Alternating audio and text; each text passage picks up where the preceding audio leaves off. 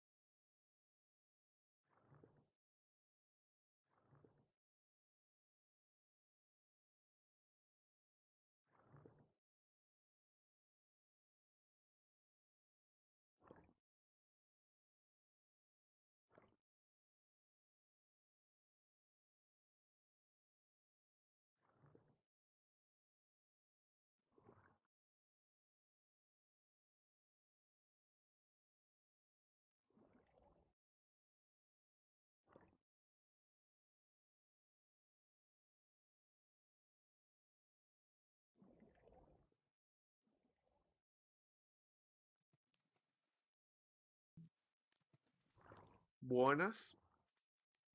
Hello. Buenas. Buenas. ¿Qué hay? ¿Qué tal? Hola, ¿qué tal? Bienvenidos a todos. ¿Están ya, ¿Ya nos ven? ¿Nos oyen? En principio Si nos sí, ¿no? oís por el chat. F en el chat si nos oís. No, F no. Bueno, da igual. Sí, sí, ya, sí, lo usamos para todo ya. Yo diría que sí, ¿no? Se oye, se oye, se oye. eso se que oye. se oye. Vale. Vale, pues hola a todo el mundo. Bueno, power. pues hoy, eh, el episodio de hoy viene hipercargadito. Y como además tenemos invitados, la presentación hoy va a ser escueta, ¿vale? Bueno, venga, que ya nos conocéis. Hala, que ya sabéis, el de las barbas, eh, el, de- el que está en todos los programas y bla. Venga, ya Y está. bla. Siguiente. Estupendo. Siguiente punto. El A ver, spam. Eh, espera, Eh, espera, espera, espera. suscribirse a nuestro canal que mm, si se suscribís con Amazon Prime eh, os sale gratis. A nosotros nos llega dinero de verdad y el 50% que, de lo que ganamos eh, va a la Asociación Española contra el Cáncer, el otro 50% a la Asociación Española a favor del cáncer. Y... Gracias. No nos posicionamos. Y- Imparcialidad. Lo bien, lo bien repartido, bien sabe, claro que sí. sí, sí, sí. Aquí la equidistancia. Luego, ¿por qué deberíais suscribirse? Pues, por una parte, por eso que os he dicho, porque eh, eh, la mitad del dinero va a, a fines benéficos, por decirlo de alguna forma. Y La luego, además, eh, tenéis emoticones exclusivos para el chat y tenéis acceso al Discord de suscriptores, que eh, ahí hacemos un montón de cosas que ya hemos comentado muchas veces. Eh, ¿Qué más? Sí, el- que yo me tengo que ir despidiendo ya. Eh, ha- había Yo una meta que se cumplió ayer, o sea que el sábado seguramente habrá un especial con suscriptores que organizaremos es. en el Discord. Y se me olvida algo. se va a liar. Se va a liar. Eh, no, yo creo que no, ¿no? Eh, no sé, que lo recuerden la gente del chat, si se nos va la olla y si nos acordamos de algo. O sea, Ah, no, eso, y que tenemos hoy invitado. Ah, sí. que... Se me algo. Pues, gracias eh, a vuestros hay algo- suscripto- Gracias hola. suscripciones. ¿Qué, qué? No, no, nada, nada, nada. Que lo del invitado que están poniendo en Nevesu ahí en el. Sí. Pero sí, gracias de eso. Eh, gracias a vuestras suscripciones, eh, bueno, el 50% que no va a la Asociación Española contra el Cáncer, gracias a eso tenemos ahora una nueva cuenta de, su- de- de invitados que va a estrenar eh, aquí el señor Barbudo y, eh, y que esperemos que en adelante podamos invitar a otra, a otra gente también que sea interesante. Dicho lo cual, ¿de qué va el programa de hoy? Hoy vamos a hablar de el- la actualización nueva de eh, Minecraft, ¿vale? Y para eso tenemos allí en el escenario principal una, Sí, una diapositiva. sí. Ah, ¿Vamos a hablar de la 1.17 estando en la 1.12, ¿no? Efectivamente. Ciertamente, Bien. el problema que tenemos es que, claro, eh, para que funcionen todos los mods, nosotros tenemos eh, que tener el, el Minecraft un poco desactualizado. Ostras, ¿qué ha pasado? Ya, aquí? ya está rompiendo el suelo aquí el señor. Bueno, ¿Sabes así, como curiosidad, Adivina. mientras llegan, para que sepáis mm, la gente con la que Sí. eh, la gente que, que- que participa en Escenio. Ayer, lo voy a contar. Mira, es- o sea, de- vale, ahora lo cuentas. Yo, esto es la primera, la segunda puñetera vez que juego a este juego en toda mi vida. La primera fue ayer, Ayer. para no hacer el ridículo absoluto aquí delante de todo el mundo en directo. Pero, pero sí, cuéntale, Roberto, un poco la, la peña lo que pasó, por favor. Dice José Ramón que se escucha Sí, bajito. ya os he subido el volumen, a ver si ahora se escucha mejor. Ah, vale, vale. Vale, perfecto. Para que veáis eh, lo que pasó ayer, la primera vez que juega Alberto a- al, al Minecraft. Entra al Minecraft, le digo, toma, la armadura mamadísima más fuerte que hay en el juego. Estupendo, así no te podrá matar nadie. ¿Qué es lo primero que hizo? Ponerse a romper cristales. Le digo, Claro. deja de romper cristales. Pues nada, se fue a la casa de Adrián, le rompió las ventanas. Lo- y lo dice, pero que te dije que te callases. Roberto, tío, pero ¿cómo lo dices? Cállate. ¿eh? Voy a contar todo. Pero que te dije que me... Hola, qué perro, qué perro. Le digo, Roberto, cállate la boca. Me dice, sí, sí, tú tranquilo, que yo no se lo voy a decir a nadie. Y ya y Lo estás a- cantando aquí. cantando. Lo voy a rajar todo.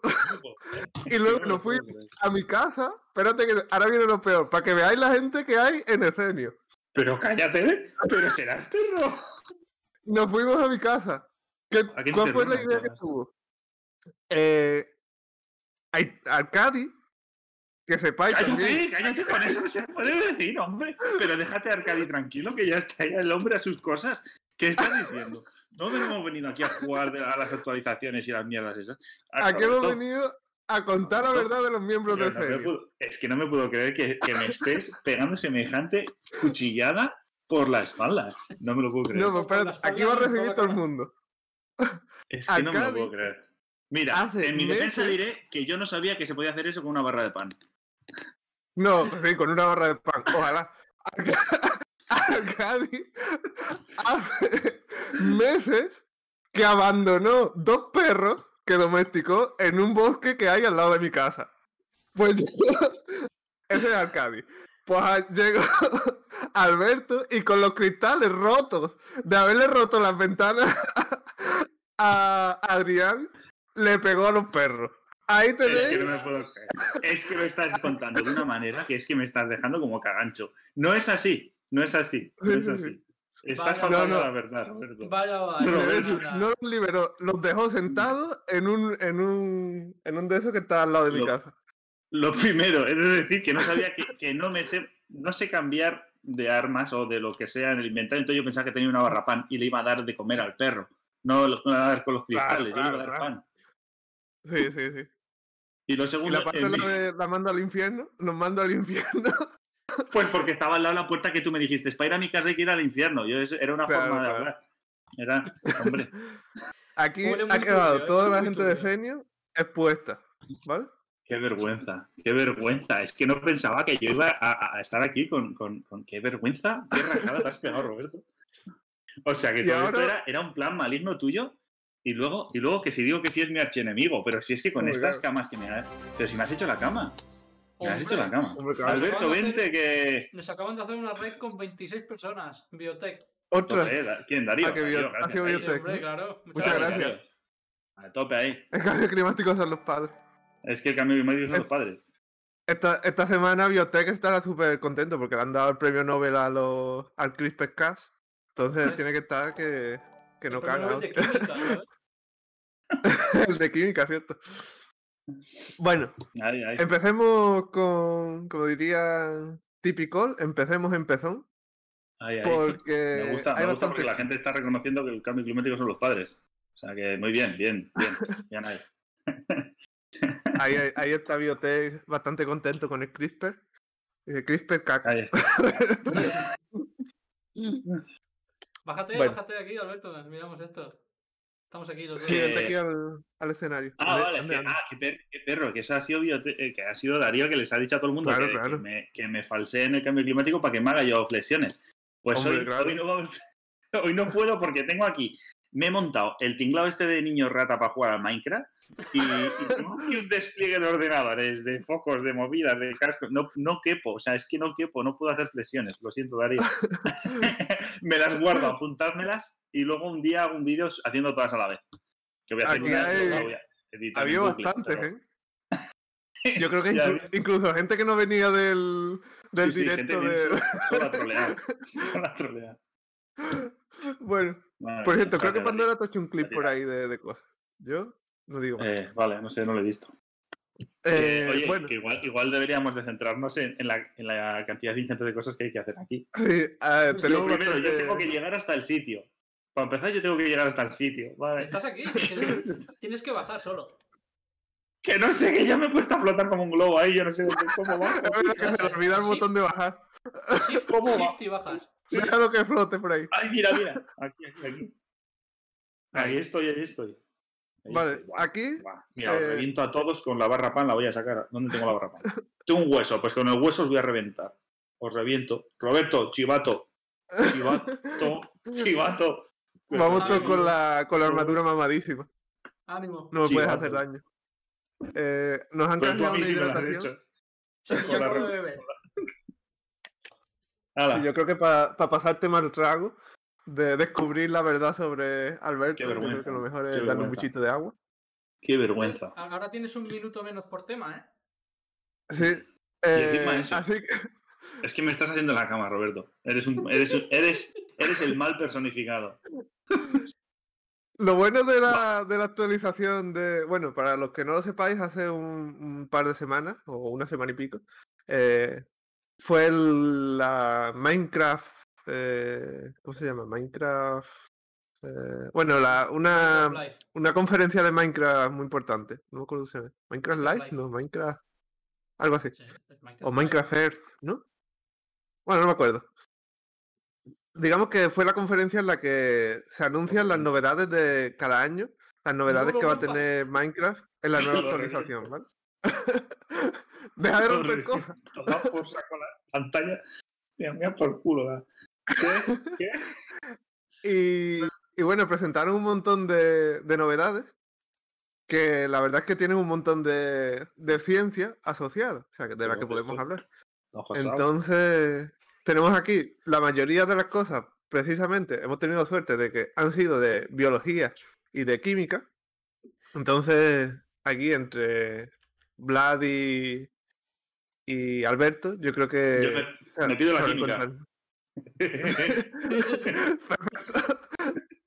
Pues Vlad la biología entonces. Me parece que no. Y, pero bueno, que veréis que, que hay un montón de cosas interesantes que parecen una tontería, pero que en realidad tienen mucho fundamento científico, algunas más, otras menos, pero que al final veréis que nos dan para, para hablar aquí un ratito, ¿vale? La, la actualización básicamente se llama eh, esto de las cuevas y los... Bueno, la- como le hemos llamado al capítulo, ¿no? Cavidades y barrancos, más o menos. Cueva en la que me he metido yo, que yo no sé dónde estoy. ¿Me podéis venir a buscar o algo? Oye, no un te sitio preocupes. y no sé dónde estoy. Eso, Pues e- está cerca.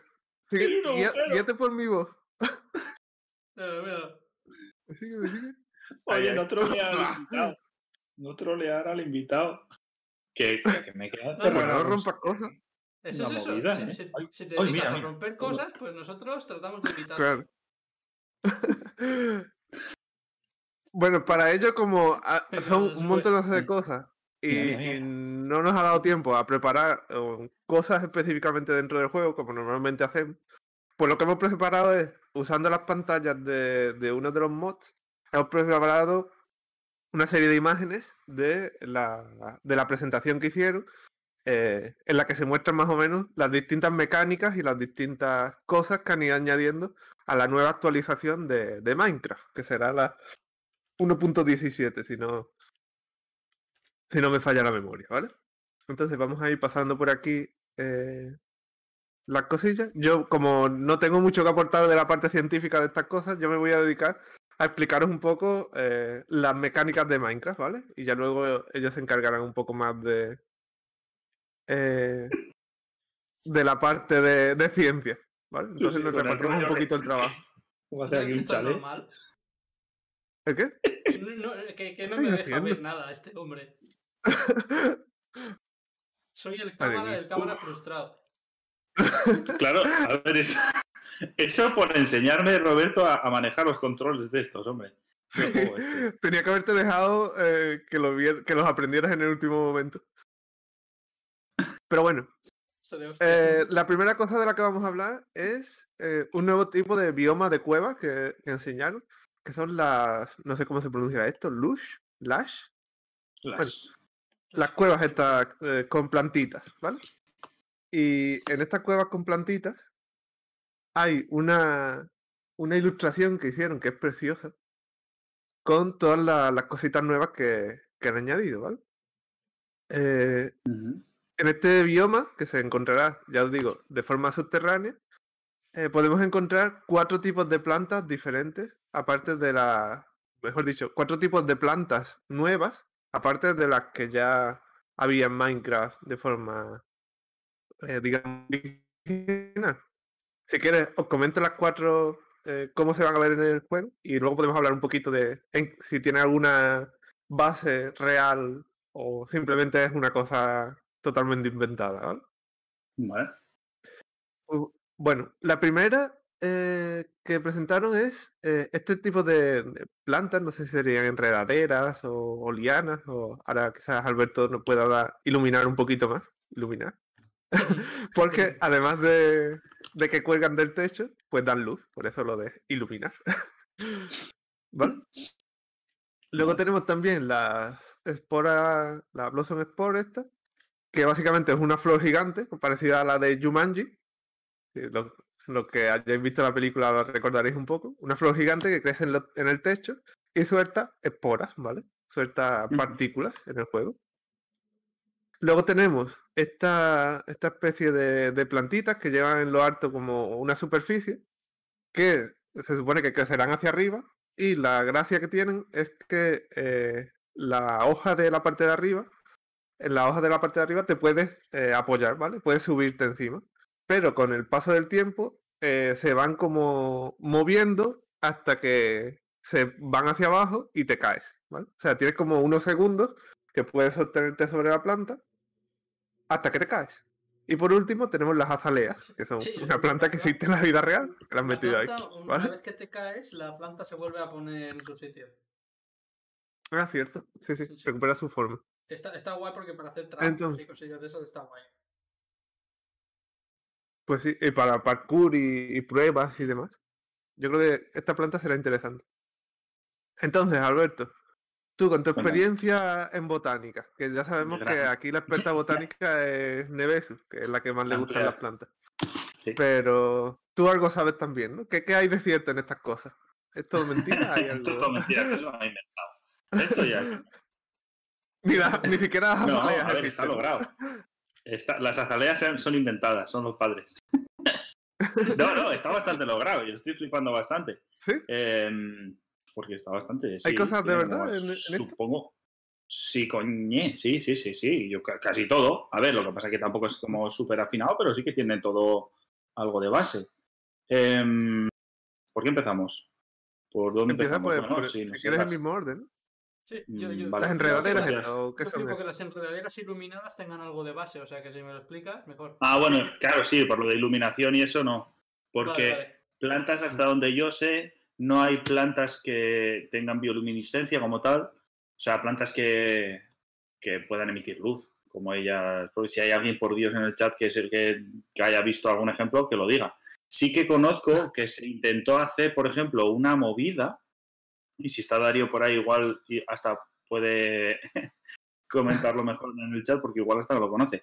Que hace unos años intentaron, em, por técnicas de biotecnología, modificar plantas para hacer que emitiesen luz y sustituir la, la iluminación de las ciudades, por ejemplo. En plan, en vez de farolas, con plantas bioluminiscentes. Eh, que emitiría, claro, se reduciría mogollón las emisiones de, de efecto invernadero y, y cosas así. Claro. Con lo cual, Está, está es diciendo una idea tremenda, ¿eh? está diciendo Nevesu las hipótesis, bioluminiscentes con genes de medusa. Ah, vale. Vale, digo de forma natural. Ah, bueno, Pero claro, sí, claro. sí, sí que hay. Se han intentado hacer. eh, ya digo, experimentos. O sea, ahora últimamente no sé si no conozco alguno, pero seguro que hay.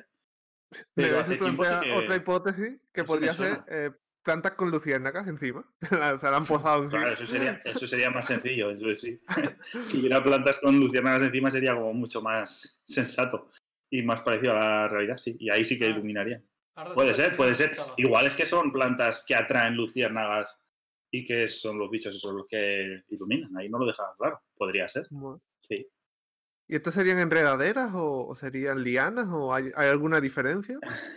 Sí, las enredaderas son las, las, las que conocemos nosotros, las que se enganchan en los troncos de los árboles y así. Y las lianas suelen ser como más de zonas como más tropicales y una cosa así. Son, las lianas son, se llaman bejucos en francés. Em, joder, lo de Tarzán, que no me salía, de hecho. Con lo que se colgaba Tarzán y se iba por ahí, las que están ahí colgando. Entonces sería más rollo lianas, por ejemplo, más que trepadoras, trepadoras. Ujú. Sí. Eh, podría ser, dice Custodian, podría ser eh, plantas bioluminiscentes, no, pero simbiosis con bacterias bioluminiscentes como los calamares. Sí, eso decía. Eso ya, llegaremos.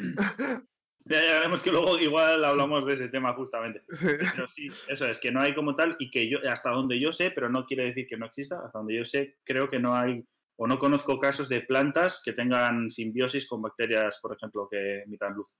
Que imitan luz. Mm. Pero sería, la, sí, joder, la idea esa de las ciudades a mí me flipó cuando escuché hablar de ella. Pero claro, eso sería creado específicamente, ¿no? Eso Claro, sería- sí, eso es, en, en laboratorio. Y nada, lo de las plantas esas. Sí. Ah, las del techo esas, que no sé cómo de grandes serán, tiene pinta de que son ahí. Joder. Pero Eh, ten en cuenta que lo- la parte de arriba es un bloque y los bloques son de un metro por un metro. O sea que prácticamente es un metro cuadrado lo que ocupa esa, esa, esa flor. La Pues está hay. justo aquí, tal cual. Debajo de esto. Fíjate que hay. ¿Alguien conoce, antes de decirlo yo, en el chat, ¿alguien conoce cuál es la. cómo de grande puede ser la, la flor más grande del mundo? ¿O la planta que tenga la flor más grande del mundo? ¿Alguien le- lo estima? Si alguien lo conoce, pues lo, que lo diga también, pero. Porque. A mí me suena. Es una ida de olla, ¿eh? Mm. ¿Vosotros lo conocéis? A mí me suena. Pues, Creo que salía ver. hasta en Los Simpsons, ¿no? Hay un episodio, me parece. Yo no estoy Pues no seguro, sé, pero me suena. No me suena.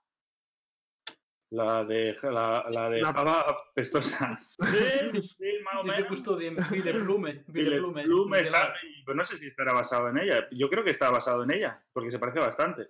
Sí. Mm, Yo creo La que sí. flor de los muertos, la que huele a muerto, sí, pero esas son muchas. Hay muchas, porque es como un mecanismo de atracción de, de, por ejemplo, De moscas que van a, a- Sí, porque huelen, huelen como a cadáver, huelen como a podrido algunas plantas, y entonces atraen, por ejemplo, moscas o, insectos que van a cadáveres y cosas así, y así los utilizan para polinizarse. Entonces es como una estrategia ahí, es como hacerse el muerto literalmente, pero en planta. Se llama-. Se llama Raflesia. Amor, Ah. Ah, vale, Amorphophallus sí, también. Amorphophallus es, la, es enorme. Sí, sí, sí, sí, es una pasada.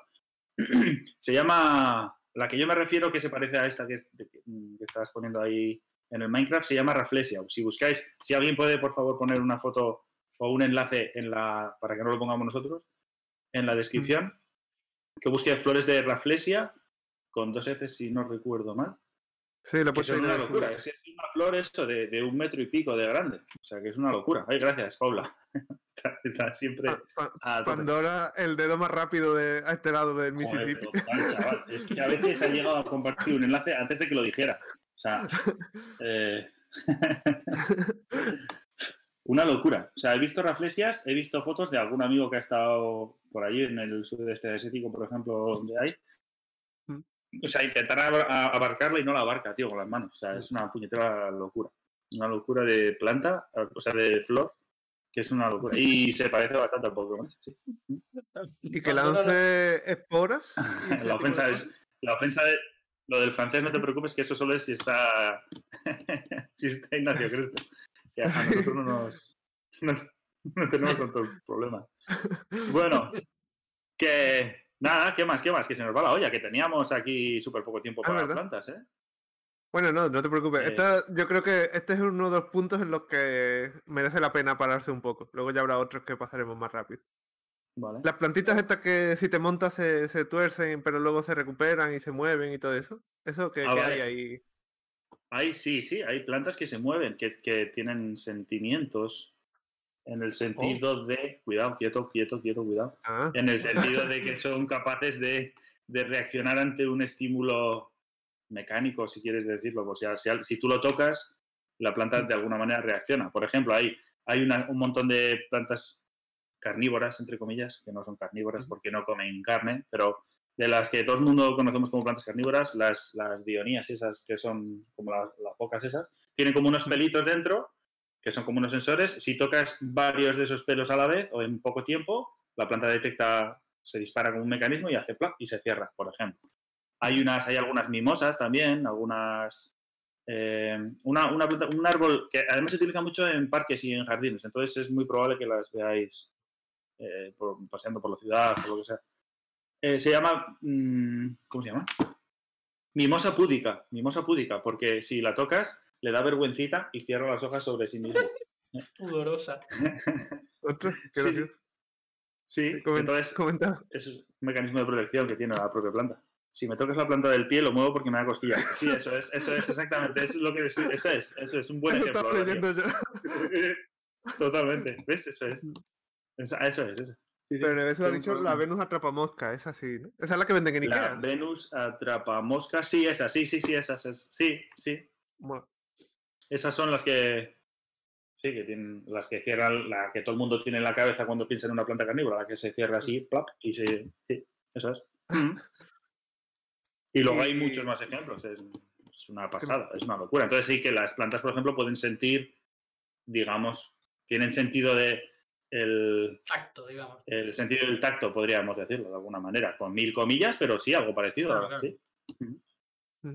Y una pregunta, Porque- eh, unas azale- ¿las azaleas estas pueden crecer en cuevas? Porque a mí me parecería que no, ¿no? voy a preguntarte.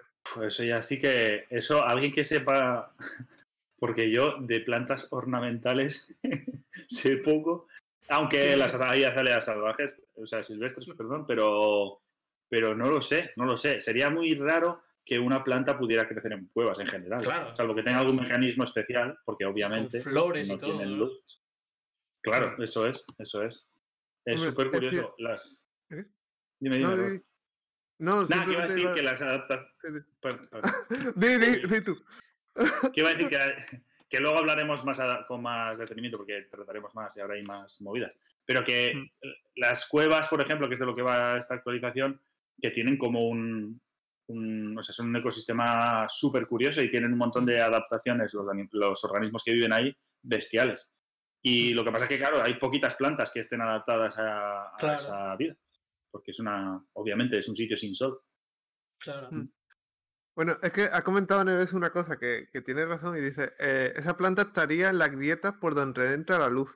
Y es Ahí verdad que hay una, sí. cosa, eh, hay una cosa que no he comentado y es que se supone que estos biomas están marcados como en la superficie de- del, del juego, sea, en la superficie de la Tierra, se supone que habrá como unos árboles que marcarán entradas a este tipo de cuevas. Vale, Y vale. entonces, Entonces, es una entrada de luz sentido. vertical.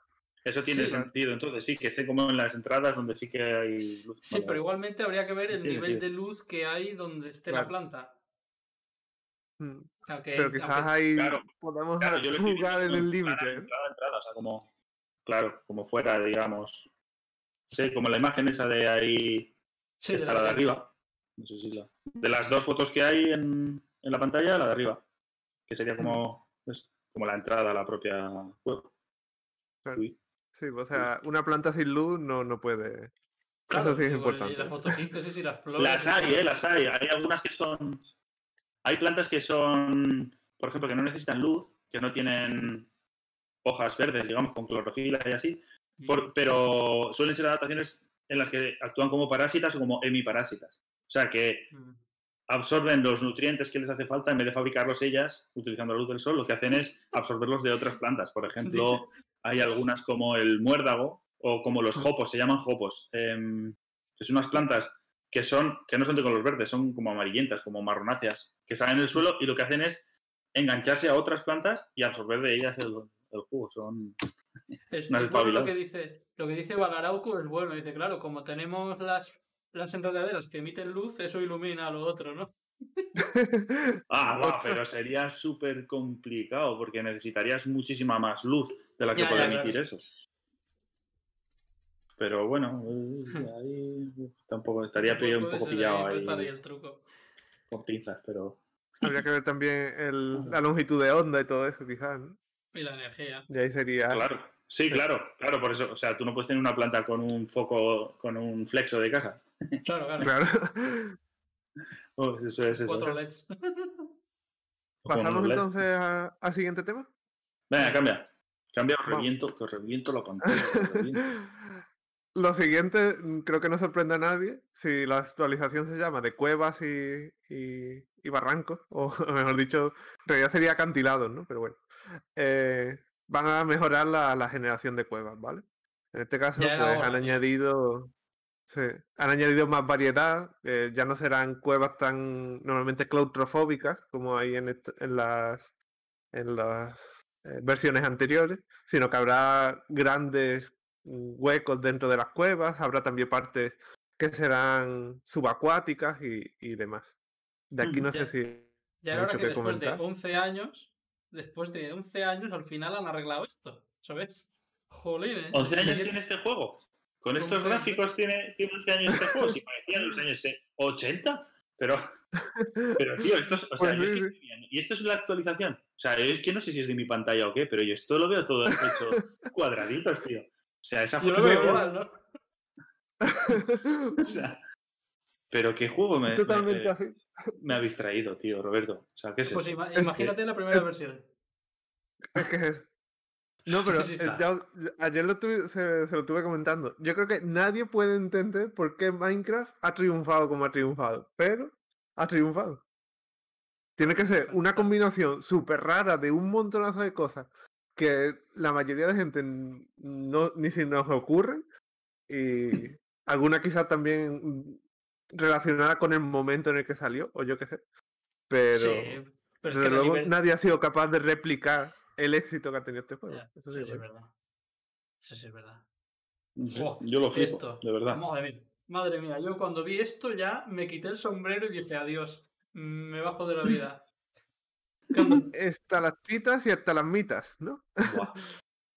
Sí, sí. Explica un poco ¿Cuál es cuál? la mecánica. ¿Cuál es cuál? Básicamente. Yo cuento, yo cuento cómo se Sí. forman y Black, tú cuentas el, el, por, qué, el por dentro, lo, lo que tienen por dentro. Lo que tienen por dentro. o sea, el por qué se forman y así. O sea, Ah, pero bueno, esto, esto es como conocido por todo el mundo. Las estalactitas son las que, se- las que caen son las que caen del techo y las estalagmitas las que van desde abajo, ¿no? Efectivamente.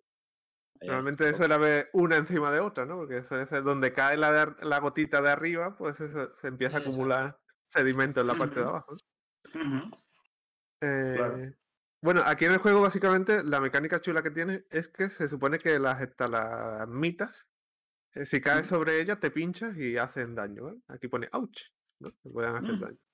Y si- Mm. también será, servirán mucho para dar ambientación y, y también gotean agua, que puedes poner un caldero debajo. No sé para qué vas a necesitar más agua, porque bastante eh, es súper fácil hacer agua infinita en Minecraft. Pero eh, Y caen. básicamente estas son las mecánicas que tiene. La- Las, las estalagmitas, si te caes encima te hacen daño y las estalactitas caen. Y si te caen, si te dan encima te hacen daño. ¿Cierto? O sea, Mm. Aunque es, más complicado, tendría que ser ah, mucha casualidad, ¿no? Que te caiga. Sí, sí, Pero. ¿cómo se forma una estalactita más o menos? ¿Sabéis algo. Mm. del tema? Sí, le, le Ah, das, eh, ¿te, ¿De qué? te animas o lo cuento? A ver, Bueno, yo esto yo hago lo la introducción. pero vaya. Ah, vale, vale. Yo, yo, tú, tú hablas ahí de, de los. de Sí, luego tendremos más, más Eh, uno de los sitios, o sea, a ver, generalmente suele ser porque el tipo de roca que hay en donde eh, se forman ese tipo de cuevas y donde se acaban mm, desarrollando estalactitas y estalagmitas suelen ser de carbonato de calcio, suelen ser paisajes kársticos. Que eh, ahora hablas, por favor, tú ahora nos cuentas un poco más de detalle con esto. Pero lo que suele pasar es que el- en el agua está disuelta, está disuelto el, el carbonato de calcio y va Sí. cayendo y la gota luego pues va sedimentando, digamos, y lo que se queda es la, la roca que se ha disuelto y, se ha- y luego vuelve a aparecer ahí otra vez, que es una ida de olla. O sea, a mí me parece una locura. Yo he estado en algunas cuevas así de estas llenas de, de estos de estas formaciones y son una puñetera ida de olla. Es una Mm. locura. Bueno, básicamente es Cuenta una... cómo, puedes contar el cómo, cómo el agua, claro, es que es el- los paisajes, o sea, un- es que es un paisaje como súper típico, el, el karst, que karst se le puso el nombre así porque son unas cuevas que, eh, el nombre de una, de una zona donde se describió este proceso.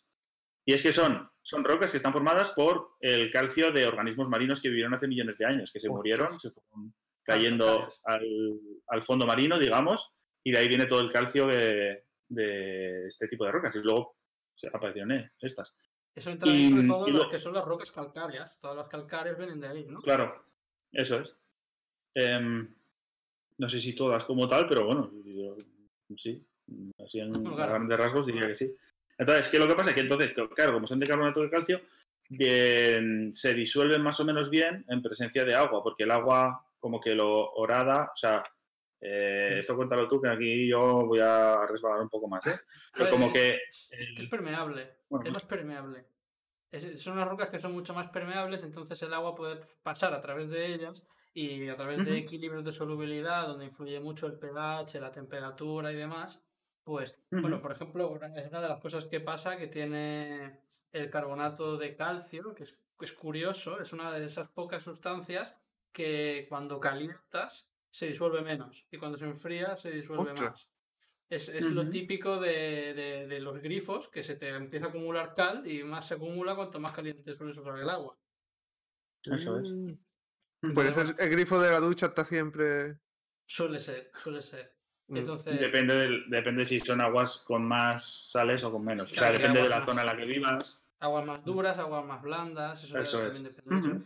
Pero bueno, la cosa es que el carbonato de calcio es un, es un compuesto que es bastante insoluble, pero bueno, como su solubilidad depende de varios factores, pues es posible que en ese sitio pues la gota pues arrastre un poco más, un poco menos, y entonces pues empieza a, a deformarse hacia abajo. Es, es erosión, básicamente. Y, cuando va cayendo hacia abajo, pues al irse el agua para otros lados, el carbonato de calcio empieza a formar ahí pues otra roca de nuevo. Empieza a dejar el carbonato que arrastra de arriba, lo forma abajo. Más o menos. Es que no Eso tiene es. mucho más misterio. Entonces, los, el, el agente mm, creador de ese tipo de cuevas en las que hay estalactitas y estalamitas suele ser el agua. El agua es, es la que disuelve, digamos, la roca y forma todas esas pedazos de cuevas y luego encima también, pues eso, estalactitas, estalamitas. O sea, tiene sentido lo de que le hayan puesto que gotee agua. Claro, la- claro, es que, es, es que la- eso es. O sea, es que el, el agua es el que ha formado todo eso. A mí lo que, me Literalmente. gus- lo que me gustaría ver con estas estalagmitas es si están en formación natural, gotea agua. Pero si tú la rompes, te la llevas para tu casa y la cuelgas en tu techo, Mm. ¿también gotea agua? Habrá que ver.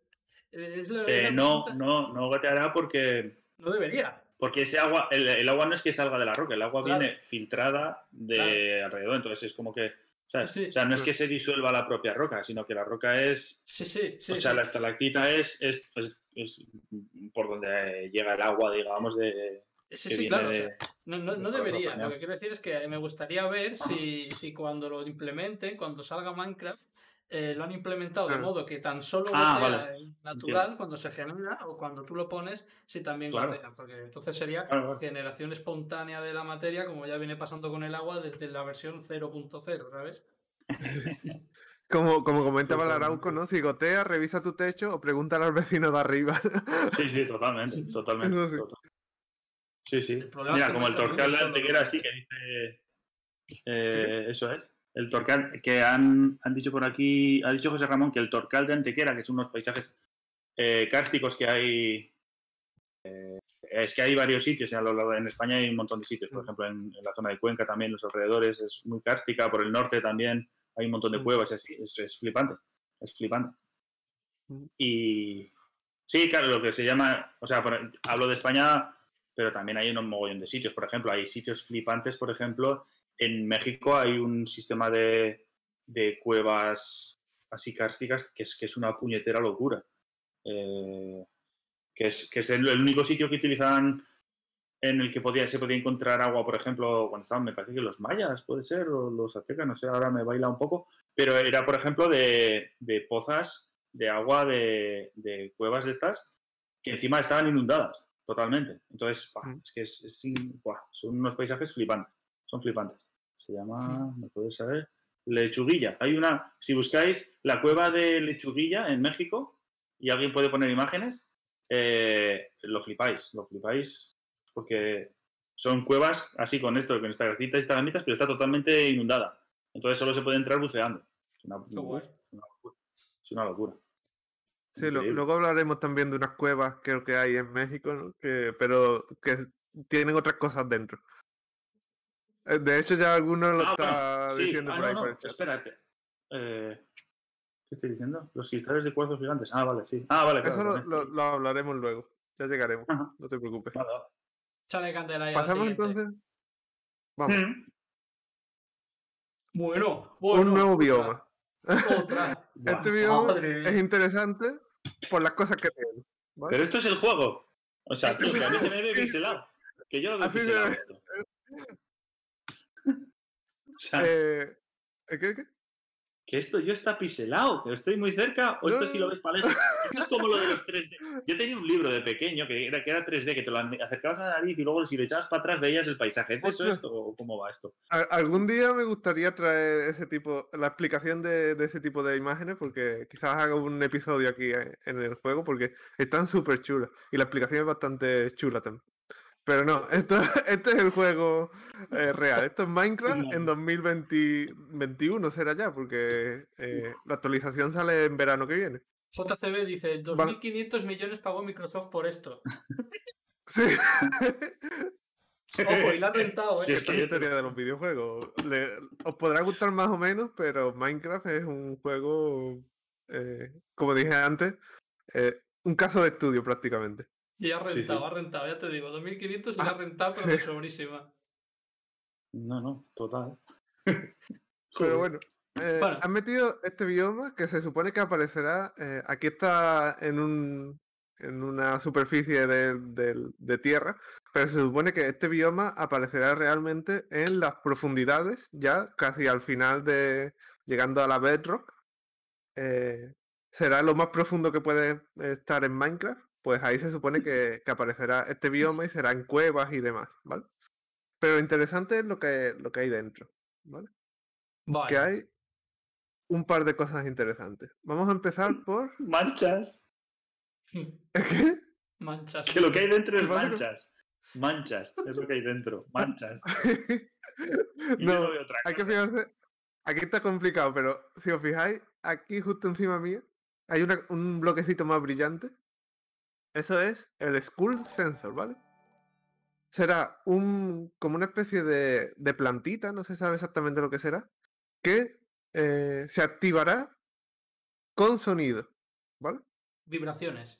Eh, si, si claro, efectivamente. Si tú haces ruido, en plan, si vas caminando corriendo, o si pones un bloque o cualquier cosa de estas, o tiras un, un objeto o algo, el- la plantita esta se, se activará, empezará así como a vibrar y se, bueno, pues se pondrá de, cambiará de color y producirá un, un sonidito. Y gracias a eso se, se podrá hacer una nueva mecánica, o van a introducir una nueva mecánica, que es el eh, la Redstone eh, sin cables, ¿vale? El Wi-Fi, ¿vale? Ahí tenéis las ondas de Wi-Fi. Pues claro, tú pones una palanca eh, y al moverla, la palanca hace un ruidito y activa la, la plantita aquella que pues, es capaz de hacer otro ruidito y capaz de, eh, digamos, activar otra planta que está más lejos, que hace otro ruidito, que activa la otra que está más lejos, que hace otro ruidito y así hasta van como si fueran repetidores de Wi-Fi, ¿no? Madre mía. Entonces, esto, ah, para la gente de, de que le gusta el Minecraft técnico, es una flipada. Pero ¿qué tiene esto de cierto? Esto ah, podría hay- llegar a ser. ¿Hay cierto, plantas yo que emiten wifi o cómo va De esto? hecho, el wifi se inventó mucho antes de que nosotros llegásemos a la- aquí, a este planeta. Lo inventaron las plantas hace muchísimo tiempo. Sí, sí, sí, sí. Hay casos. Las plantas usan el. mm, sí, el wifi es. que es, Eso es es, 5G, ¿no? eh, wireless, no sé qué, no sé cuántos. O sea que sí que es. Se podría llamar, yo creo que sí. Em, las plantas se ¿Pero en qué comunican entre ellas en el sentido de que se pueden comunicar de forma inalámbrica, de que eh, varias, el- mm, depende de no todas las plantas del mundo, sino que al- algunas, pero se pueden una planta con otra, por ejemplo, yo qué sé, pensad, ahí mira, os pongo un ejemplo real. Em, las acacias estas típicas que salen en los documentales de, de África, que salen los leones y la típica Mm. acacia que parece un paraguas así, esas, Sí. en un- hay una zona eh, en la que esos árboles, o sea, est- están, están los árboles, ¿no? Entonces, hay em, un tipo de antílopes que va y se lo come y, y se alimenta de las hojas de esas acacias. Entonces, un árbol que está siendo em, ramoneado, está siendo atacado, entre comillas, por, una, por uno de estos antílopes, se está comiendo sus hojas, desprende unas sustancias en el aire, emite unas sustancias, mejor dicho, que luego van a llegar y van a ser recibidas por otros árboles que estén por la zona, incluso a cientos de metros, incluso casi a, a kilómetros, y con esa sustancia les avisan de que ahí hay eh, animales que se, están que, que- que se pueden comer a esos árboles. Entonces, heavy. los árboles que reciben esa sustancia, es un puñetero flipe, como por ejemplo etileno, o, Mm. o algunas otras algunas otras sustancias volátiles, Claro. los árboles, eh, los que están por ahí lejos, que todavía no se lo han comido, empiezan a producir sustancias de defensa. Por ejemplo, para ser desagradables, para que si se lo come eh, le sepa malo, le sepa astringente o amargo, eh, o, se, o se llegan a preparar. Entonces, eso es wifi en toda regla, macho. O sea, a mí- Sí, sí. O sea, eso es una idea de olla. A mí me parece una puñetera locura. Entonces, me refiere, con lo que me, a lo que me refería Roberto es a que sí que, se- eh, que es un sistema de comunicación inalámbrico entre plantas. Eso sí me parece una locura. Hay otro, de hecho, tienen, o sea, tenemos las plantas son una, son una puñetera virguería y están totalmente infravaloradas, yo creo. Hay otros, tienen otro sistema también, que es parecido a este, que consiste en que, por ejemplo, árboles de un bosque, los árboles por la parte de abajo, digamos, por la parte de las raíces, eh, muchos de ellos están en simbiosis con, con micorrizas, con unos hongos, se llaman micorrizas, que lo que hacen es eh, algo parecido a esto. Si el árbol de repente sufre, por ejemplo, está, eh, sufre el ataque de un, de un insecto o de una, de una plaga, digamos, o de un insecto que puede ser peligroso para él, se lo empieza a, sea, a comer también. o- Mm. entonces emite unas sustancias a través de esas micorrizas y el, el- tiene como un intrincado súper grande por la parte de abajo de hongos. Y entonces ese hongo va, va llevando también sustancias, esto sería químico también, pero, pero a través del- debajo del suelo, y se comunicarían con otros árboles. Entonces los otros árboles empezarían lo mismo a, a producir sustancias que, que son diferentes de, para protegerse, de, por ejemplo, desde el ataque de, pues, de un insecto, de un bicho, lo que sea. X. Entonces hay como varios sistemas además. Por encima, o sea, por el aire, por lo subterráneo. Es una idea de ella. Me digas que no es una locura. Como dice o sea- Radio Bosque, ¿no? Radio Bosque, tu emisora. Sí, sí, sí, sí, sí, sí. Es como Radio María, que se pilla en todos los lados. Sí, sí. Total. Ostras, Totalmente. Así que sí que eso, en este caso, esto sí que es mucho más factible que lo de las plantas con luz. Pero esto sí que existe. Y existía, ya digo, antes de que lo inventásemos nosotros. Sí, también comentaba antes, ¿dónde estaba? Eh, Astrosopas, ¿no? Dice, nosotros también tenemos comunicación de forma inalámbrica, a voces. claro, un poco sí, Claro, eso es, eso es. Sí, sí. es otra, otro mecanismo, ¿no? Eso es. Vale. Pues, o sea que muy interesante como mecánica jugable, muy interesante como eh, Sí. explicación científica de la realidad. Sí, sí, sí. Vamos a, vamos a ver otra cosilla más que hay en ese bioma. Uh, El Warden, un enemigo nuevo. y las toñas que pega. Es- Oh, visto? Las totalmente. que pega el tío este sí que está mamadísimo, ¿eh? Esto ni dragón. ni. Pero, tío, si es una caja de zapatos con cuernos. O sea, pero que- o sea, Es como un ¿cómo que torito. Vaya bicho, qué miedo. O sea, a ver, a ver si es que yo- esto es- igual es de mi ordenador, que yo no lo veo bien o algo, tío. Yo veo un- una caja de zapatos ahí mal. Con, con, con Si no, si llevaras esa armadura que te protege de todo mal, verías como Minecraft en realidad es un juego de miedo. Lo que pasa es que, claro, vas ahí mamadísimo, entonces tú vas paseándote mm, ajeno a los peligros de este mundo. Me parezco un caballero del zodíaco, macho. es que. Eh, Ojo, eh. bueno, el Warden. ¿qué, qué, qué es lo interesante del Warden? Bueno, bueno. aparte de, como ha dicho eh, Vlad, que te mete unas tollinas, que te viste de torero, eh, incluso con la armadura más fuerte del juego, el del juego vanilla, digamos, del juego sin mods. eh, de dos toques te mata de tiro, o sea, muerto, instantáneo. Con la armadura más tocha, tío. Es que es impresionante. Con la armadura más tocha, completa. Joder. Y que la característica principal que tiene, bueno, que te meto, nada, que te meto, bicho, que te meto, te reviento, que te reviento. Pues yo, mira, yo le estoy tumbando, a mí no me hace nada. Claro, claro, pero eso es porque muy llevan la armadura. Muy fácil. Otra, como dice Valaloco, ya le podían haber llamado Barbol. Bueno, pero Barbol por lo menos tenía oídos. O sea, tenía ojos. Aquí la, la característica principal de, de este bicho, aparte de que eh, tiene mucha fuerza, es que es ciego, es ciego. Como vive en este bioma, que como he dicho antes, está solamente en las profundidades de la Tierra, pues ahí no hay luz y él se guía por el sonido. O sea que si vas muy despacito, si- sin correr y sin poner bloques y demás, pues puedes ahí eh, esquivarlo, digamos, porque mientras no le haga ruido, él no te oye y no va por ti. Pero en cuanto te muevas un poquito más rápido, ya te, te localiza y te persigue para matarte.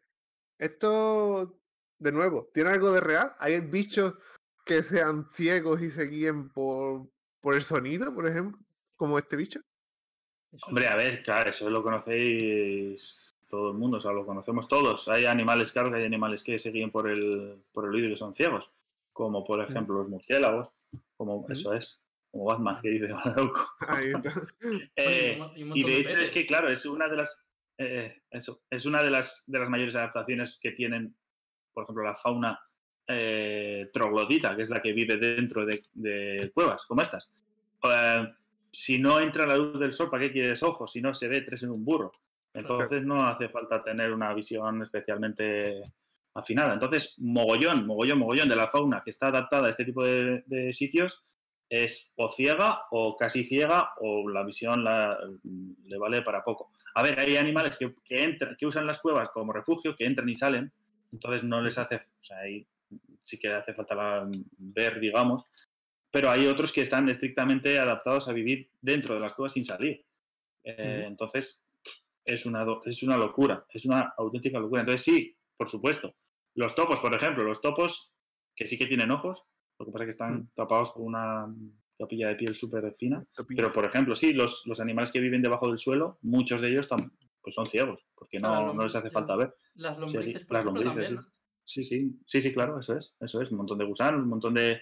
eh, hay reptiles también que, que tienen la visión súper reducida porque tienen una vida hipogea, que es por debajo del suelo. Y Otro respecto a esto, por ejemplo, Otro animal ciego, el revisor de papers, dice. total, totalmente, totalmente. Real, tío. Muchos de ellos sí. Joder, ya te digo yo que sí, totalmente. Y ¿Y hay, otro hay tipo algunos de, casos... de mecanismos que no sean solo por el oído? Quizás a lo mejor que, no sé, o por la piel o algo así, que noten, yo que sé, la temperatura, o los cambios de temperatura, o los cambios de presión o algo así. Claro, por ¿Te ejemplo, sí. em, sí, lo que pasa es que, claro, o sea, a ver, en las cuevas. Por, ejemplo, como los peces avisales, que también viven en zonas de, poca es. luz. Eh, Ahí cómo ahí, se, ahí qué hacen, cómo se. Eso es. Pues mira, los peces avisales tienen también varios sistemas de, meca- de- varios mecanismos, digamos. Uno de ellos es, eso es, la línea, la línea, o sea, los peces no tienen oído, pero tienen una línea, digamos, una línea media que se llama, en un lateral, que son células especializadas que sienten cambios de presión. Entonces, digamos que es como oír, entre comillas, debajo del agua. Entonces, eso usan. Hay algunos que tienen receptores eléctricos, entonces notan los cambios, o sea, la electricidad que emiten otros organismos. Eh, por ejemplo, hay mogollón de tiburones que lo hacen, pero, o sea, que lo tienen, pero luego también hay otros, otros peces. Eh, entonces notan los pequeños cambios eléctricos que produce, pues, yo qué sé, eh, otro, otro bicho que pueda pasar por ahí. Luego hay algunos que emiten, que tienen bioluminiscencia, entonces sí que emiten destellos de luz, digamos, tanto para engañar a las presas como para comunicarse entre ellos. O sea que hay un montón de sistemas también, es flipante, es increíble. Ujú, ujú. Incluso receptores químicos también. ¿eh? La evolución. ¿Qué La evolución, esa gran... Qué, movida, ¿no? qué, gran movida, eso es, la evolución, qué gran movida. Totalmente, totalmente. Preguntaba antes Custodian si eh, una de las mecánicas del juego dice si, si tiras una flecha va hacia donde impacta. Creo que sí. Por lo menos en, e- en la presentación aparecían eh, tirando como bolas de nieve y donde daba la bola de nieve el bicho se giraba como para atacar donde estaba la bola de nieve. Mm. O sea que sí, puedes despistarle tirando cosas al, al bicho. Sí, pero si, Mm. si va por el ruido, la bola de nieve tiene sentido, pero el arco hace ruido donde choca la flecha, pero también hace ruido el arco. Claro, que ahí no sé yo cómo lo habrán implementado. Habría, habría que ver cómo lo han hecho con los arcos. Mm, sí, Qué curioso. la verdad. Mola, Pues mola. sí, y eso, sí, la que fauna de nuevo un bicho que parece ahí totalmente ficticio, ¿no? Sí, sí, no, Eh, pero es que, pero puede ser, porque, en- por ejemplo, en las eh, animales adaptados a cuevas, a vidas solo en cuevas, que hay relativamente pocos comparado con otros ecosistemas, digamos, eh, parecen de ciencia ficción. O sea, hay algunos que son una puñetera locu- locura. O sea, por ejemplo, una adaptación eh, que suelen tener muchos animales que viven solo en cuevas es que pierden los pigmentos del cuerpo, que son casi translúcidos o casi transparentes, porque no necesitan comunicarse entre ellos mediante eh, Ah, claro. el color que tengan, por ejemplo. El color se utiliza mucho para comunicarse en la naturaleza. Entonces, casi Sí, todos no son. ven. ¿Para qué? Claro, sí, ¿para qué? Claro, si no te van a ver, ¿para qué quieres ir de, de colorinchis? Claro. Em, más y luego hay bichos que son comunicarse, tot- El color sirve para Dime. no comunicarse, ¿no? para que no te Las vean. dos cosas. esconder. Las dos cosas, sí. Algunos sirve para esconderte y otros para mandar un mensaje o de que eres peligroso, por ejemplo, Claro, y que no te coman, o para seducir a, a las hembras o, a, o las hembras a los Mm. machos, depende de las especies, sí. Mm. Hay las dos cosas y suele haber un equilibrio entre no pasarse de, de una cosa y no pasarse de la otra. claro. Por ejemplo, mira, yo estuve una vez en unas cuevas en Eslovenia, en las Mm. cuevas de Postjonia, que suena ahí como que te atragantas. Se lo estoy en inventando ahora mismo. No me lo estoy inventando, esto es cierto. Es de las pocas cosas que no me he inventado. Confesiones. Eh, ahí vive, son unas cuevas que hay uno de los pocos anfibios que de todo el mundo que están totalmente adaptados a vivir en, en ambientes ca- cavernícolas. Se llama Proteo. Y es un anfibio totalmente ciego también, que es así como tiene la piel, es como rosa. Si alguien puede buscar, por favor, una foto de, de un Proteo eh, Proteo. y ponerla, es un anfibio, o sea, es que es una criatura que si lo ves, dices, o sea, tío, eso es de una película de, yo qué sé, de ciencia ficción o algo así. Hay también en... Pero en que, Estados que ¿cómo Unidos- es? ¿Como un pulpo o como...? No, no, es un anfibio, es como una salamandra, para que me entiendan, más o menos, ¿vale? O sea, Sí. un anfibio de, de alargado, con cola larga, con, mm, así con sus cuatro patas iguales y tal, pero es... Tiene morro, tiene cabeza como parece... un- la cabeza parece de un dragón, de verdad. Y, y es... Ahí, mira, ahí ha puesto Paula. Joder, qué máquina eres, Paula. Gracias. Eh, echarle un vistazo al enlace que ha puesto para que veáis la foto, Oh, porque es una puñetera, lo cuya es súper alargado. Ahí está, míralo, míralo. Y tiene... Eso, tiene... mm, pero ahora hablaremos de eso luego, un poco más adelante. Eh, las... Las... Joder, tiene las branquias, que no lo decía. Las branquias externas. O sea, respira, hace el intercambio de, de gases en el agua por las branquias que tiene en el exterior del cuerpo. O sea, es, un- es una fantasía de, de bicho, una locura. Entonces sí, tiene, tiene sentido que sea así como muy, no sé, fantasioso. O sea, que tenga ahí como un aire el, el monstruo ese. Porque los animales cavernícolas son así. Son, joder, Son raros. son raros de nariz, total. Son raros en los dos sentidos, ¿no? Son raros de que no son muy comunes y son raros de que tienen pinta de que no estamos acostumbrados a ver. Exacto. Literalmente, eso es. Buena bola. Mm. Vale, pues si queréis pasamos a... ¿O qué? Venga. Vale. Siguiente, aquí ya cambiando casi radicalmente de tema, ¿no? Uf, sí. Eh, Ya dejamos el bioma este de subterráneo. Que seguimos subterráneo, pero nos vamos a otra, a otro, a otra zona. Geodas y geodas. amatistas, o amatistas de geodas, o geodas de amatista, como geodas- queréis. Geodas de amatista, geodas de amatista. Hmm. Las, ge- las geodas son. ¿Qué es una geoda? ¿Qué es una amatista? ¿Qué, qué- La- qué es las geodas son unas eh, acumulaciones de minerales. ¿No ¿Has visto alguna vez estas piedras que se venden en, en algunas tiendas, que es como una piedra partida por la mitad y rellena de cristales? Como hueca y rellena de cristales Mm. por dentro. Bueno, pues eso es una Sí. geoda. ¿eh? Una geoda es una formación de, de muchos minerales dentro. Es como un cúmulo de minerales. Mm. Y bueno, aquí he montado una pequeña un pequeño tinglao por aquí para hablar de las amatistas, porque las amatistas tienen una cosa muy curiosa. Ah, La- las amatistas son cuarzo prácticamente y ese color violeta que tienen se lo da el hierro que tiene dentro de su estructura, intercambiado por, por el silicio.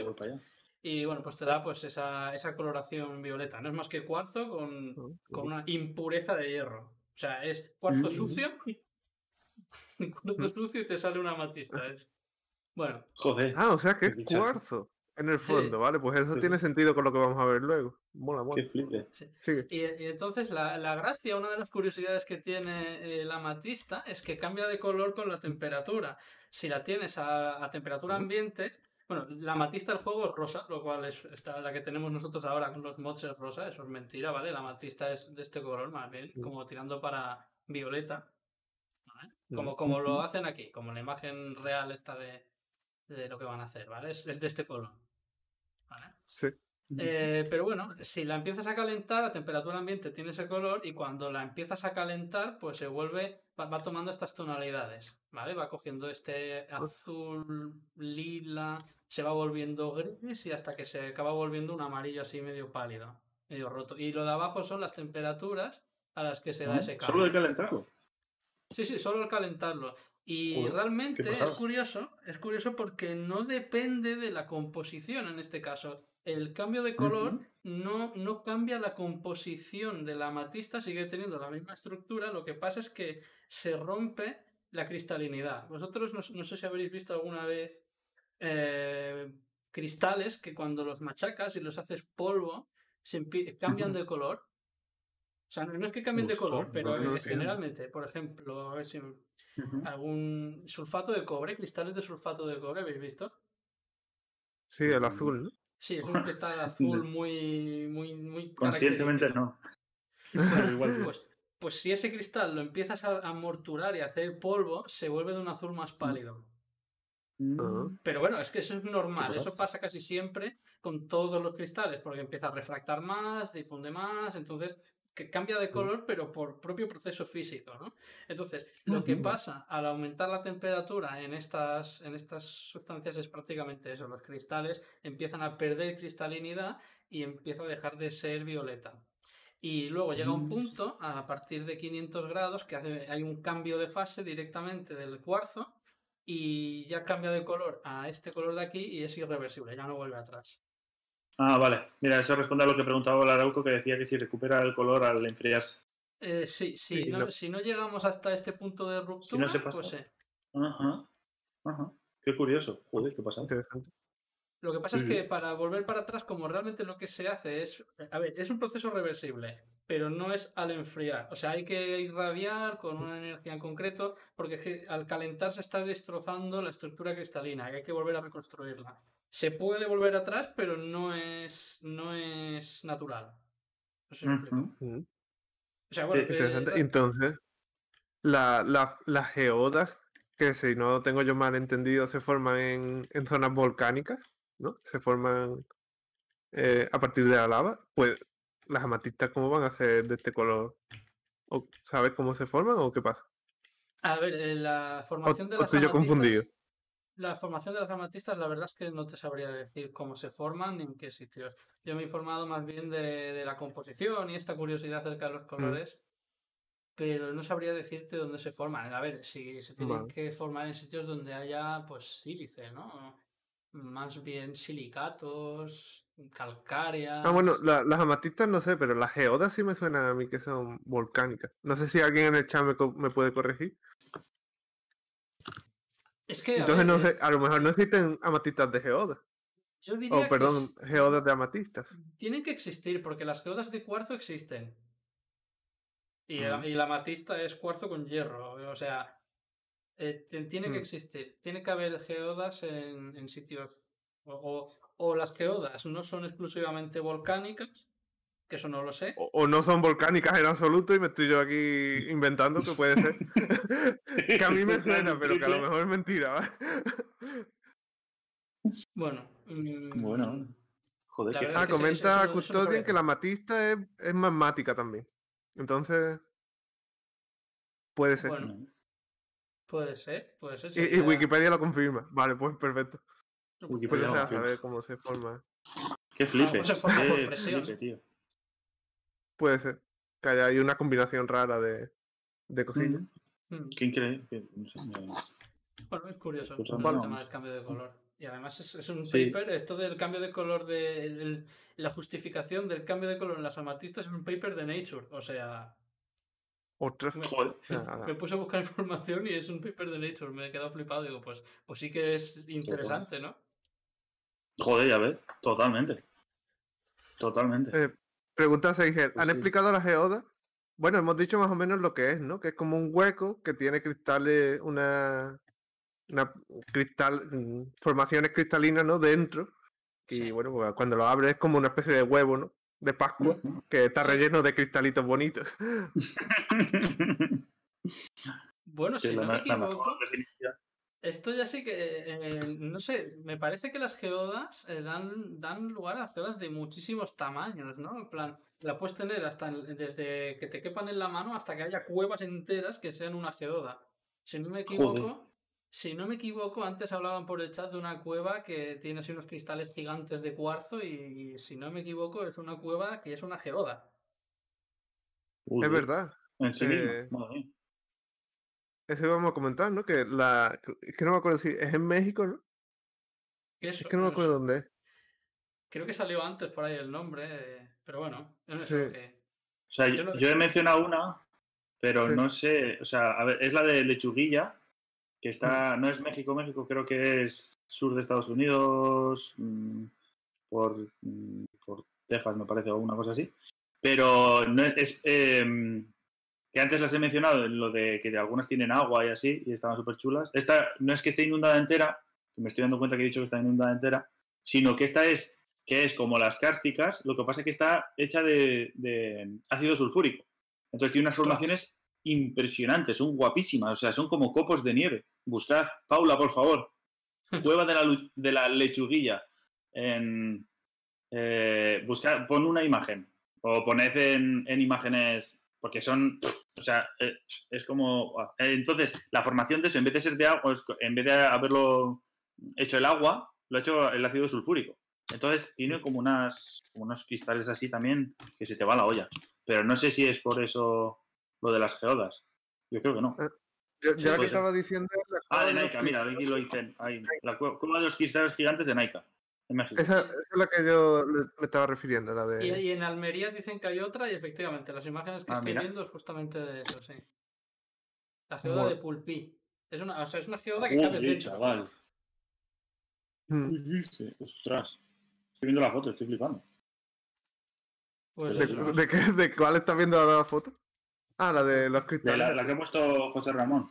La de Sí, sí. Cabo de Gata. Básicamente es eso, es, una, es un recipiente, una, una formación rocosa que dentro tiene, mi- tiene minerales. Minerales Mm. puros, minerales muy cristalizados. O sea, Uy, formaciones cristalinas enormes para lo que son, claro. Entonces, pues, te- pues tenerlas en la mano y que cada una mida pues, lo que el tapón de un boli o, o que, la, que la geoda mida 100 metros y cada cristal sea más grande que tú. Ah, ya decía yo, ¿dónde he visto yo esto? Claro, es que ayer o antes de ayer, creo que fue, que vi un vídeo antiguo de Jordi, Jordi Pereira, y, y hablaba de la formación de los cristales y mostraba eso, cuevas en las que los cristales habían ido creciendo durante un- millones de años y claro, se forman unas estructuras de, de la leche, lógicamente. Claro. Joder, qué flipe, tío. Sí, sí. Ahora pausa, pasa Paula el enlace. este. Sí, por eso que no decía que no, era, que no es geoda, sino que es, es, que es espectacular vista desde cerca. Esa foto Sí. tampoco le hace mucha justicia, pero si se ven desde cerca y así, si alguien busca en, en imágenes, en Google Imágenes, por ejemplo, eh, son una fantasía los, las estalactitas que salen de ahí. Pero sí, un es día- una locura. Yo un día Pero no quiero es- ir a no una es de geoda. Un día quiero ir a una cosa de esas, tío. Tiene que ser flipante. Joder, ya, sí, sí. ya ves. Bueno, ¿pasas a la siguiente? Bueno, qué? pasamos a- entonces al siguiente, siguiente tema. Ujú. Siguiente tema es básicamente que han añadido telescopios, ¿vale? Que uno de los Oh, usos de la geoda, fin. por eso decía lo del cuarzo que me sorprendió, eh, es para hacer cristales en telescopio, ¿vale? Me gusta. Simplemente, Así se pueden ver pájaros. lo que en- hacen es en hacer un. Solo falta que Es haya verdad, pájaros. tenía... bueno, hay los... Claro. Los, Sí, sí. los ay, ¿cómo se llaman? Periquitos no, ¿cómo se llaman? Sí, los loros. Los loros. Pero bueno, decir que el, el vidrio de, de los cristales, bueno, el vidrio de los cristales es un poco... Teniendo aquí un químico quizás un poco más sonante, ¿no? Pero el vidrio que se usa para hacer eh, los... Es que no, no tiene otro nombre, los cristales de óptica son eh, cuarzos simplemente que se funden, ¿no? Y se, se vitrifican.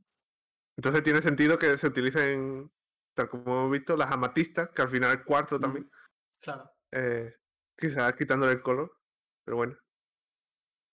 Eh, quiero comentar algo de. Porque tú tienes eh, un vídeo sobre prismáticos, ¿no? Como para ver los. Los, los pajarillos, para salir ahí a, a ver los pajarillos. Hombre, claro que yo ¿Qué ese tenemos que buscar en los, en los buenos prismáticos? Pues El... Sí, sí, no, no, claro, yo, yo, a ver, obviamente, luego también hay astrónomos que están diciendo ahí, Joanes, en, en, el, en el chat y así también. Pero yo, por ejemplo, como biólogo de campo, utilizo telescopios y utilizo prismáticos, que es mi material de día a día, digamos, eh, cuando salgo a buscar bichos. Entonces, el, el material es súper importante. O sea, el material del que está hecho la lente, que parece que todos son como iguales, o yo qué sé, es súper importante. Entonces, hay prismáticos que valen un dineral solo porque están hechos de un también material de no sé qué, no sé cuánto, si es la, la puñetera locura. Luego, lo que suele ser importante es lo grande que sea también la lente, a más grande, más luz entra, con lo cual se ve mejor, sobre todo en momentos. A ver, yo estoy eh, pensando en óptica terrestre para ver, eh, para ver para abajo, no para ver para arriba las estrellas. Pero para ver para abajo, cuando, se, cuando atardece o cuando anochece o mm, se hace de día, cosas así, pues es súper importante tener, por ejemplo, un telescopio o unos prismáticos con una buena amplitud que, dejen pasar bastante luz. Y luego también los aumentos. El número de aumentos, cuanto más aumentos, más grande es la imagen, pero si te pasas de rosca, un pequeño, o sea, tu propia respiración, por ejemplo, con unos prismáticos, si tú te lo pones, si tienen muchísimos aumentos, tu propia respiración hace que parezca un terremoto lo que estás viendo, entonces se está moviendo bastante entonces no te puedes pasar de, largo. Un estornudo son como 10 kilómetros. Sí, sí, sí, sí, sí, sí, sí. Sí, sí, a o sea, a mí me pasa, por ejemplo, a veces, si estoy viendo algo con unos prismáticos así como muy, yo sé, que te pasas de rosca, tienes que estar con la respiración cogida, no puedes, hmm. tienes que sujetarla y, verla si quieres ver algo en detalle, porque a nada que se mueva un poquillo, te, temble el pulso, es, se, ve muy bien. Sí, comentaba Juan eh, Jarondo que en principio es el mismo, el de los telescopios y el de los prismáticos. De hecho, yo conozco astrónomos aficionados que, que, recomiendan, antes de comprarte un telescopio, incluso para mirar los planetas y demás, comprarte unos prismáticos más baratos, que suelen, mejor dicho, no unos prismáticos malos, pero que suelen ser más baratos que los telescopios. y, empezar por ahí, que suele ser también más sencillo de usar y, tiene más de eso. Pero bueno. Next. Eh, next, si queréis. Bueno, eh, enlazando también con el telescopio, para hacer los telescopios, eh, que prácticamente, si veis la imagen, en realidad parece más un catalejo que un, que un telescopio. Tenemos otro material que han introducido nuevo, a ver si encuentro donde tengo las imágenes. Un momentito, que perdí las imágenes. Aquí. El nuevo material que han introducido en Minecraft, que aquí nosotros en los mods ya lo tenemos, pero uh. ha introducido el cobre, ¿vale? El cobre uh. básicamente se encontrará igual. Lo que eh, no sé si para el cobre o para el resto de materiales también eh, van a cambiar la generación de, de del o cómo se generan los bloques de, de, material. Hasta ahora, si no tengo mal entendido, se generaban como por como en esferas o algo así. En plan que tú encontrabas un, un bloque de, por ejemplo, de carbón y en un área alrededor suya había una probabilidad de que encontrara mm, pues una cantidad que era aleatoria también de bloques de carbón. Ahora parece ser que van a cambiar eso, al menos para el cobre, no sé si para otros materiales también. Y se van a encontrar como por mm, vetas de material, ¿vale? Y vas a encontrar a lo mejor una zona alargada en la que vas picando y hay mucho material, eh, o que no, digamos, no se limitan a formas esféricas, entre, entre comillas, sino que pueden encontrarse en otros tipos de, de estructuras formando... Ya, han eh, comentado que van a cambiar totalmente la estrategia de minería. Sí, todo, entonces que aplicará a prácticamente todos los materiales del juego. Y si quieres vemos también las características del cobre y ya hablamos un poquito de la realidad. Porque una de las cosas interesantes que va a tener el cobre, bueno, lo encontráis así minando simplemente, y supongo que se fundirá o lo que sea.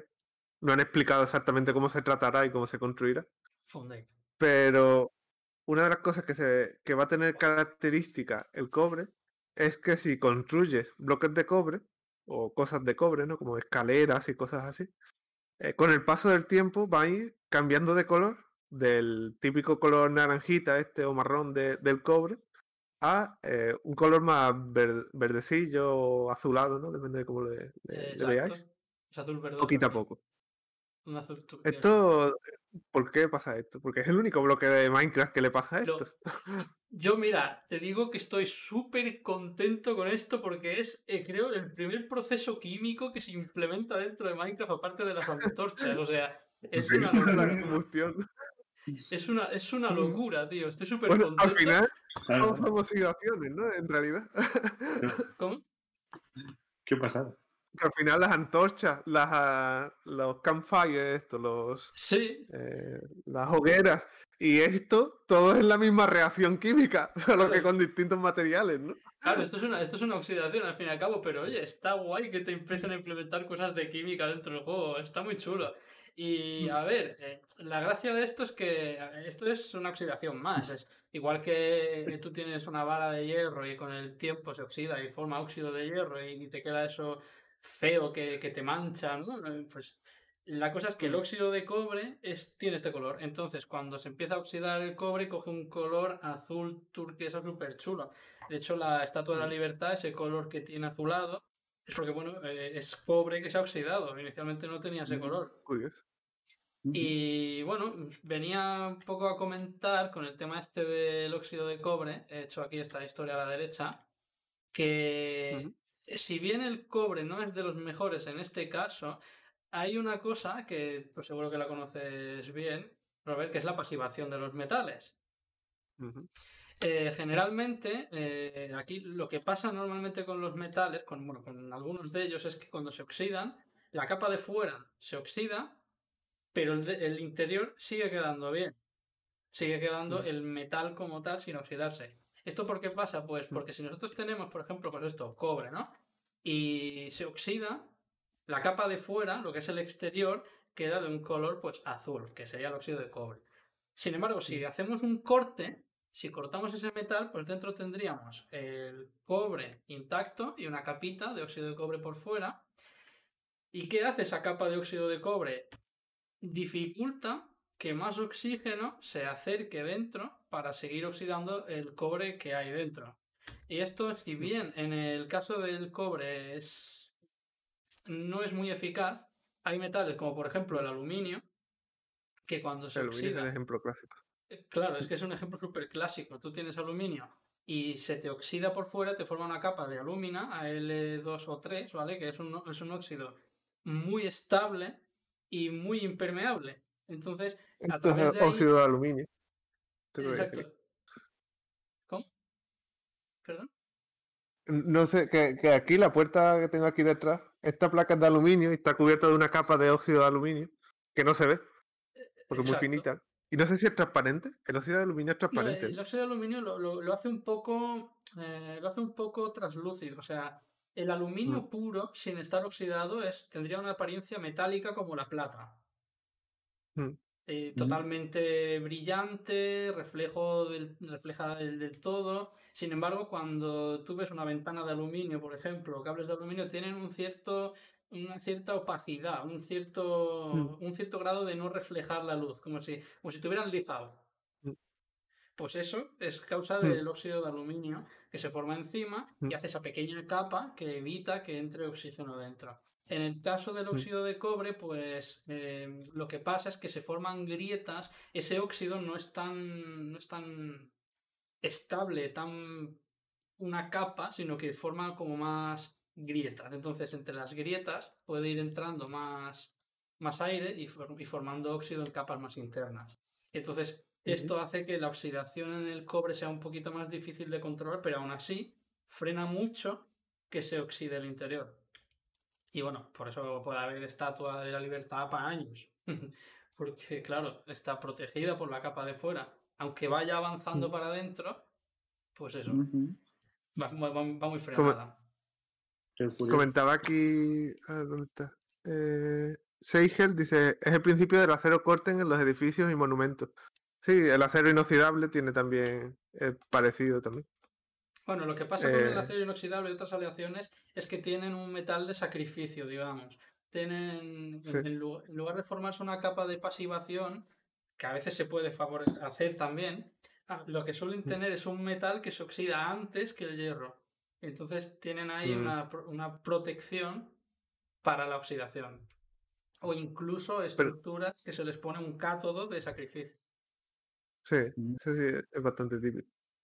Normalmente cuando se habla de óxidos, se suelen clasificar en función del volumen que ocupa el óxido eh, en relación al metal base.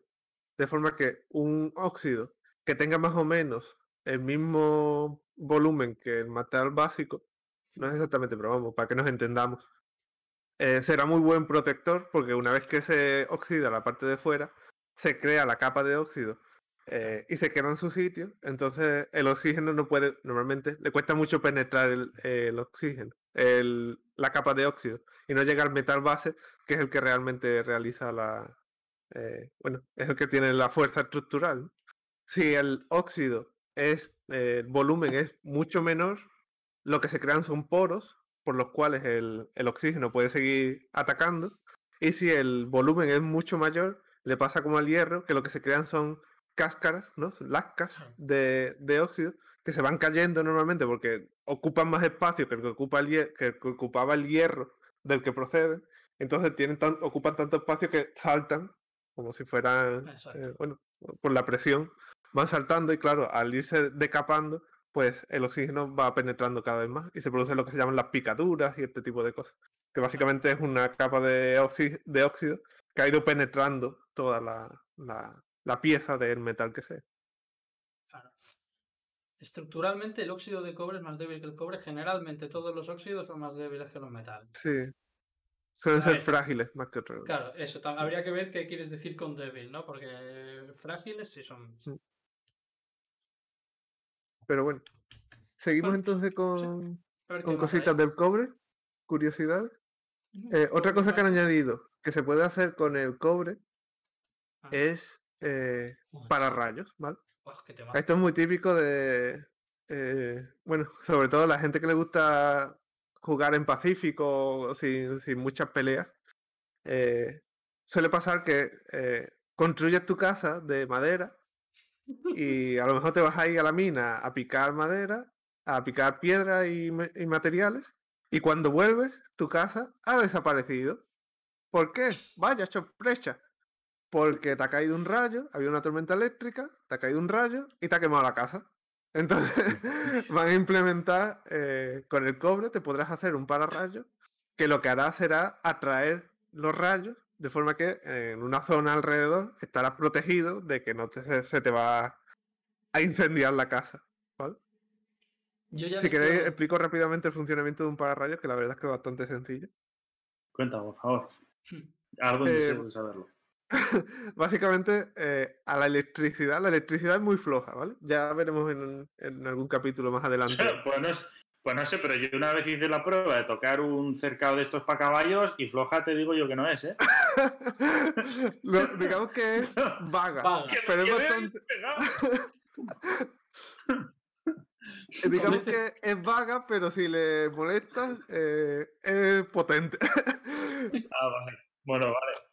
Ese matiz te lo acepto. a la electricidad le gusta el camino fácil, ¿vale? Ella siempre va a ir por el camino más fácil. Entonces, los pararrayos lo único que hacen es ponerles un, a los rayos, que básicamente es electricidad, un camino fácil que va a ser el que va a preferir la electricidad antes que el camino, eh, digamos, por defecto. Que el camino por defecto es el aire. O sea, cuando la electricidad quiere alcanzar la Tierra, porque las nubes están muy cargadas eléctricamente, quieren descargarse hacia la Tierra, que tiene menos carga, pues lo que hacen es lanzan el rayo, ¿no? O lo lanzan, no son personas, ¿vale? Pero entre comillas. Sí. Entonces, el rayo tiene que decidir, la electricidad tiene que decidir. ¿Atravieso un montón de aire o la última parte la atravieso utilizando este cable de cobre gigante que me han puesto aquí los seres humanos, que son más buenos que, que, la, leche. Y me han puesto aquí un, conducto que yo pueda atravesarlo eso, que, da gusto verlo.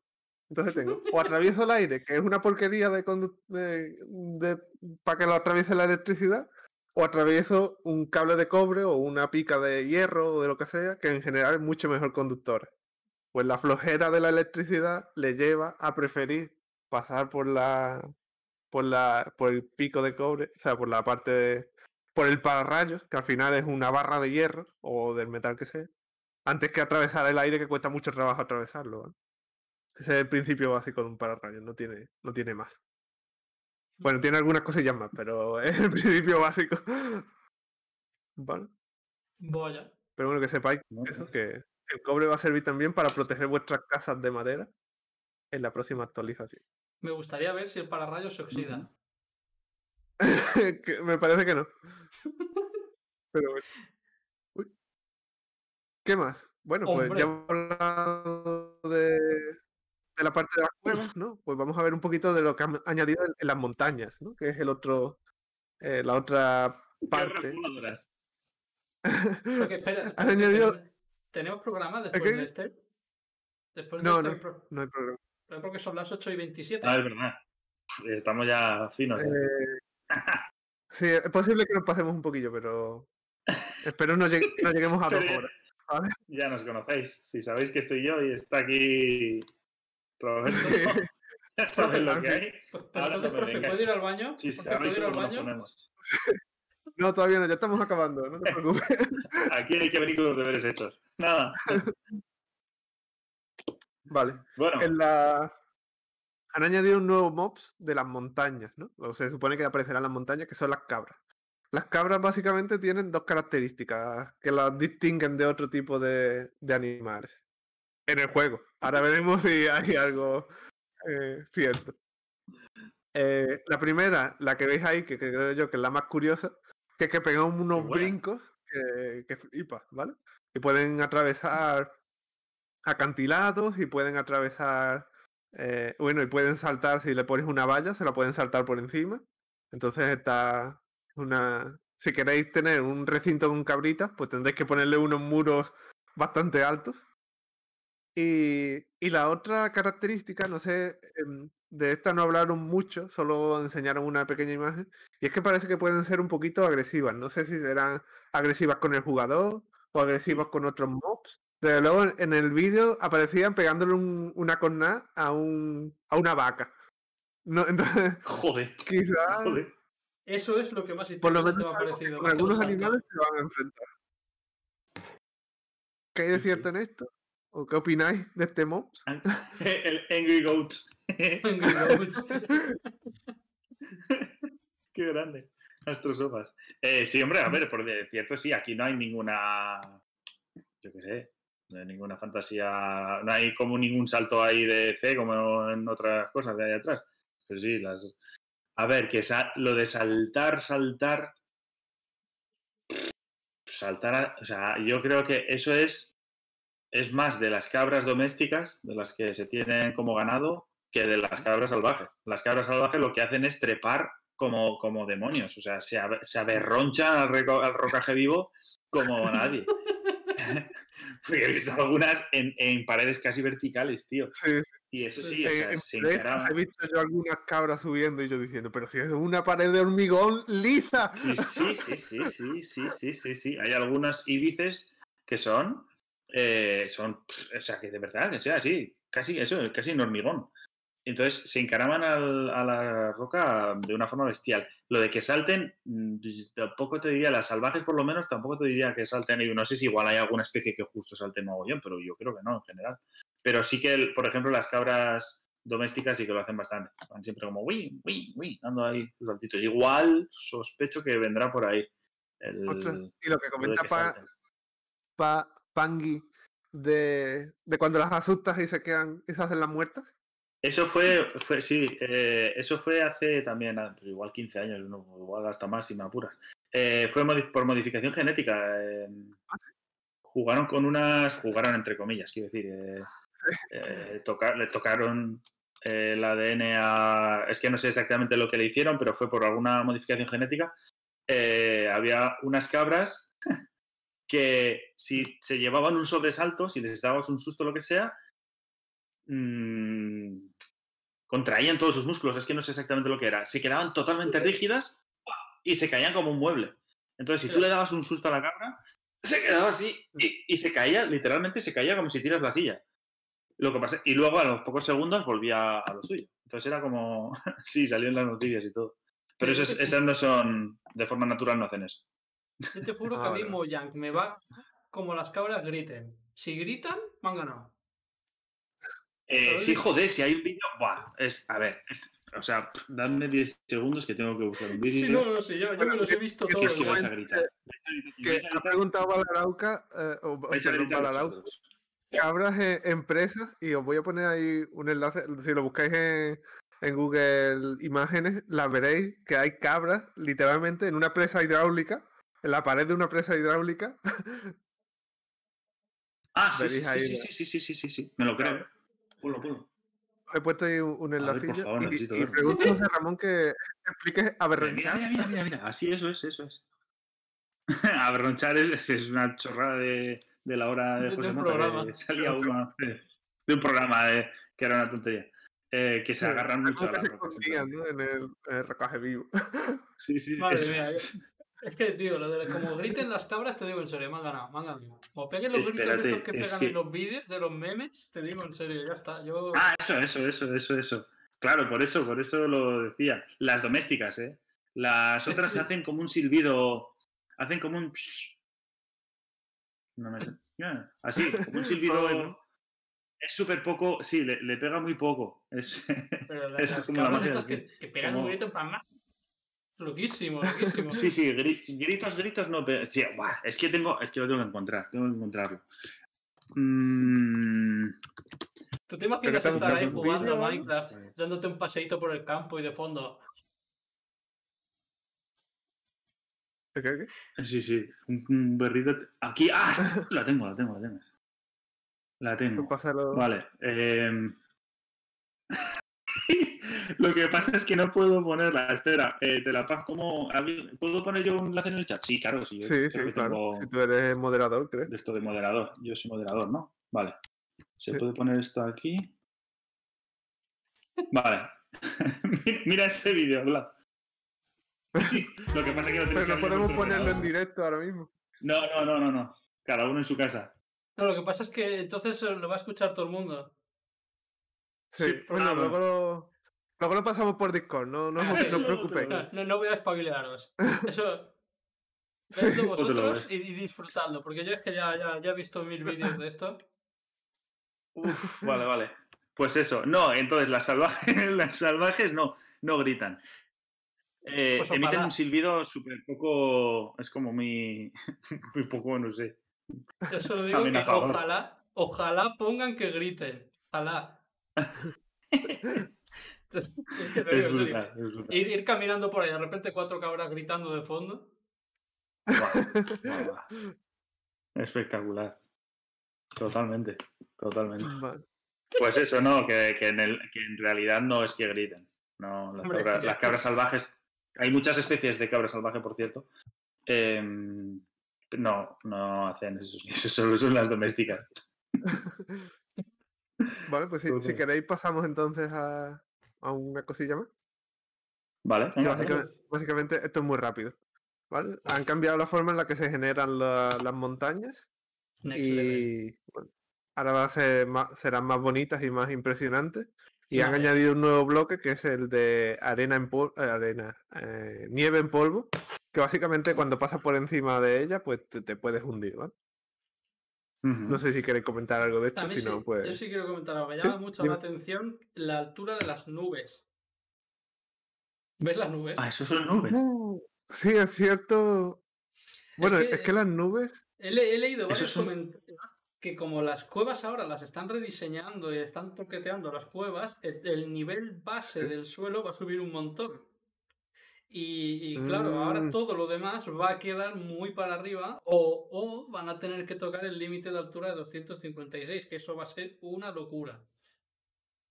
Ostras. Como hagan algún Sí, sí, eso- eso- esos cuadraditos blancos que hay por ahí en, en medio de la imagen se supone que Ah, serán eso son nubes. que son nubes. Estos son nubes, sí, los Sí, cuadraditos. estos aquí es que sí. no tenemos nubes. Vale. Pues sí, Vale, puede que cambien algunas cosillas, algunas mecánicas más, pero de momento no, no lo han no lo han comentado. Dice José Ramón, el Señor de los Anillos en Minecraft. Hay unas construcciones de, de la peña que, que- que ha construido Minas Cities y bueno, Sí, han construido prácticamente todo el, el mapa de, de, de la Tierra Media. Lo puedes encontrar por ahí, pero de, de chalado. La montaña solitaria, o sea, si te pones a buscar, eh, mm, te da. Si te gusta El Señor de los Anillos y el universo de Tolkien, en Minecraft tienes donde, donde jugar.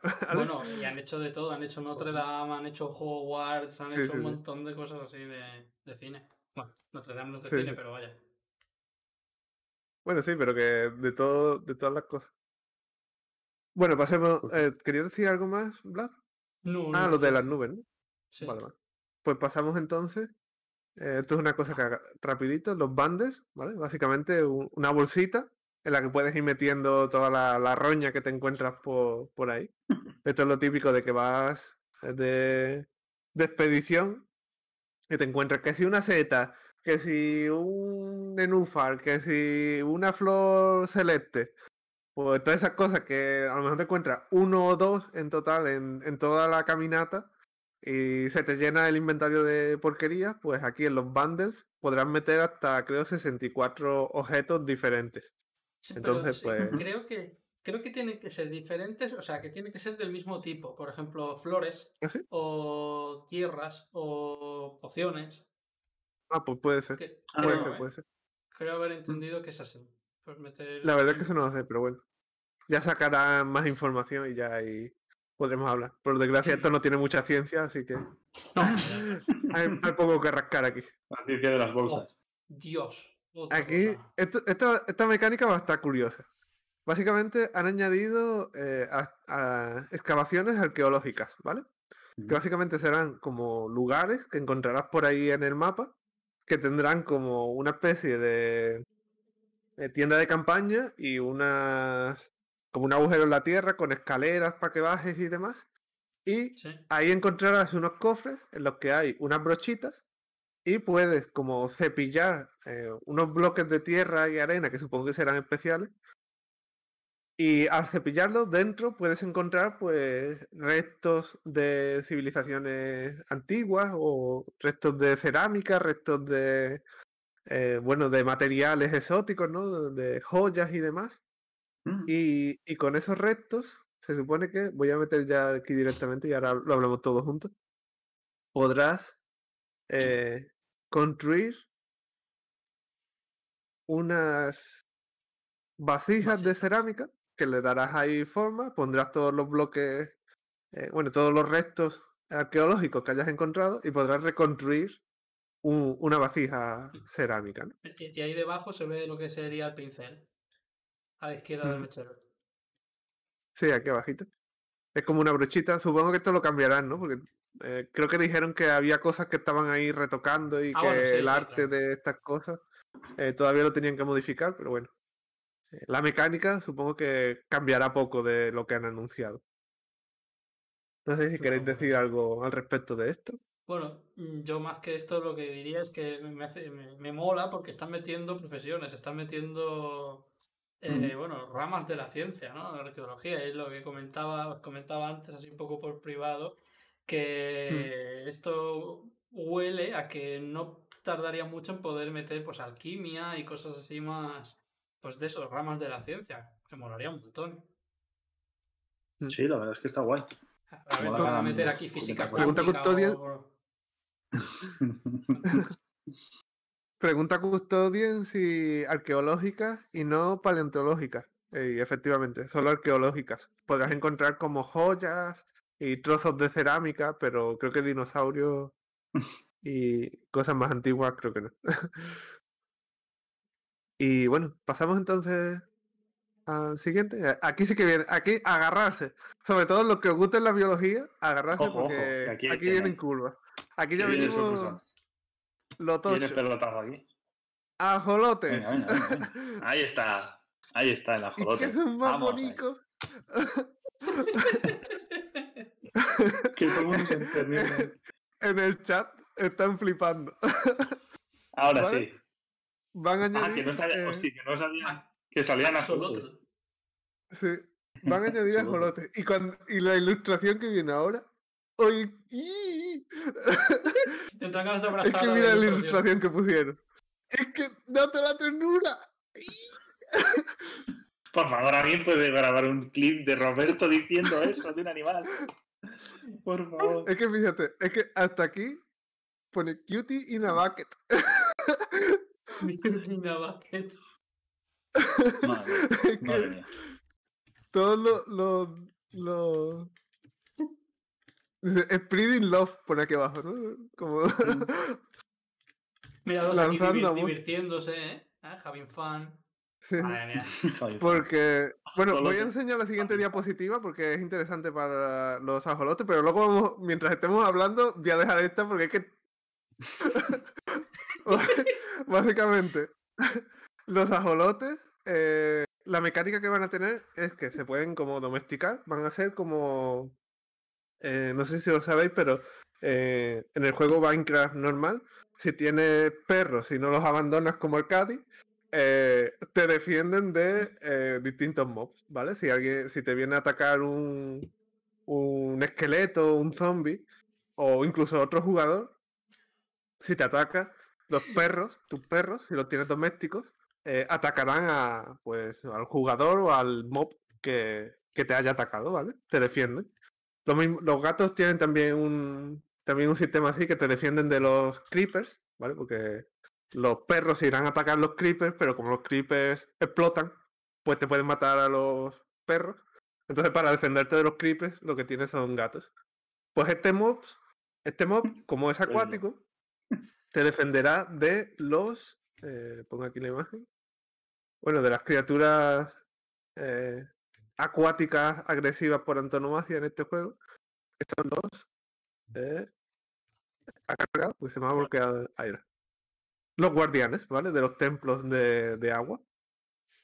Básicamente te, te protegerán, te puedes crear ahí, capturas unos cuantos en cubitos, los metes en cubitos y los echas luego en el mar y, y te siguen, ¿vale? Como si fueran, son tus mascotas y te siguen. Entonces si un, un guardián del templo te, subacuático te, te ataca, pues ellos van y, y le hacen daño a ellos.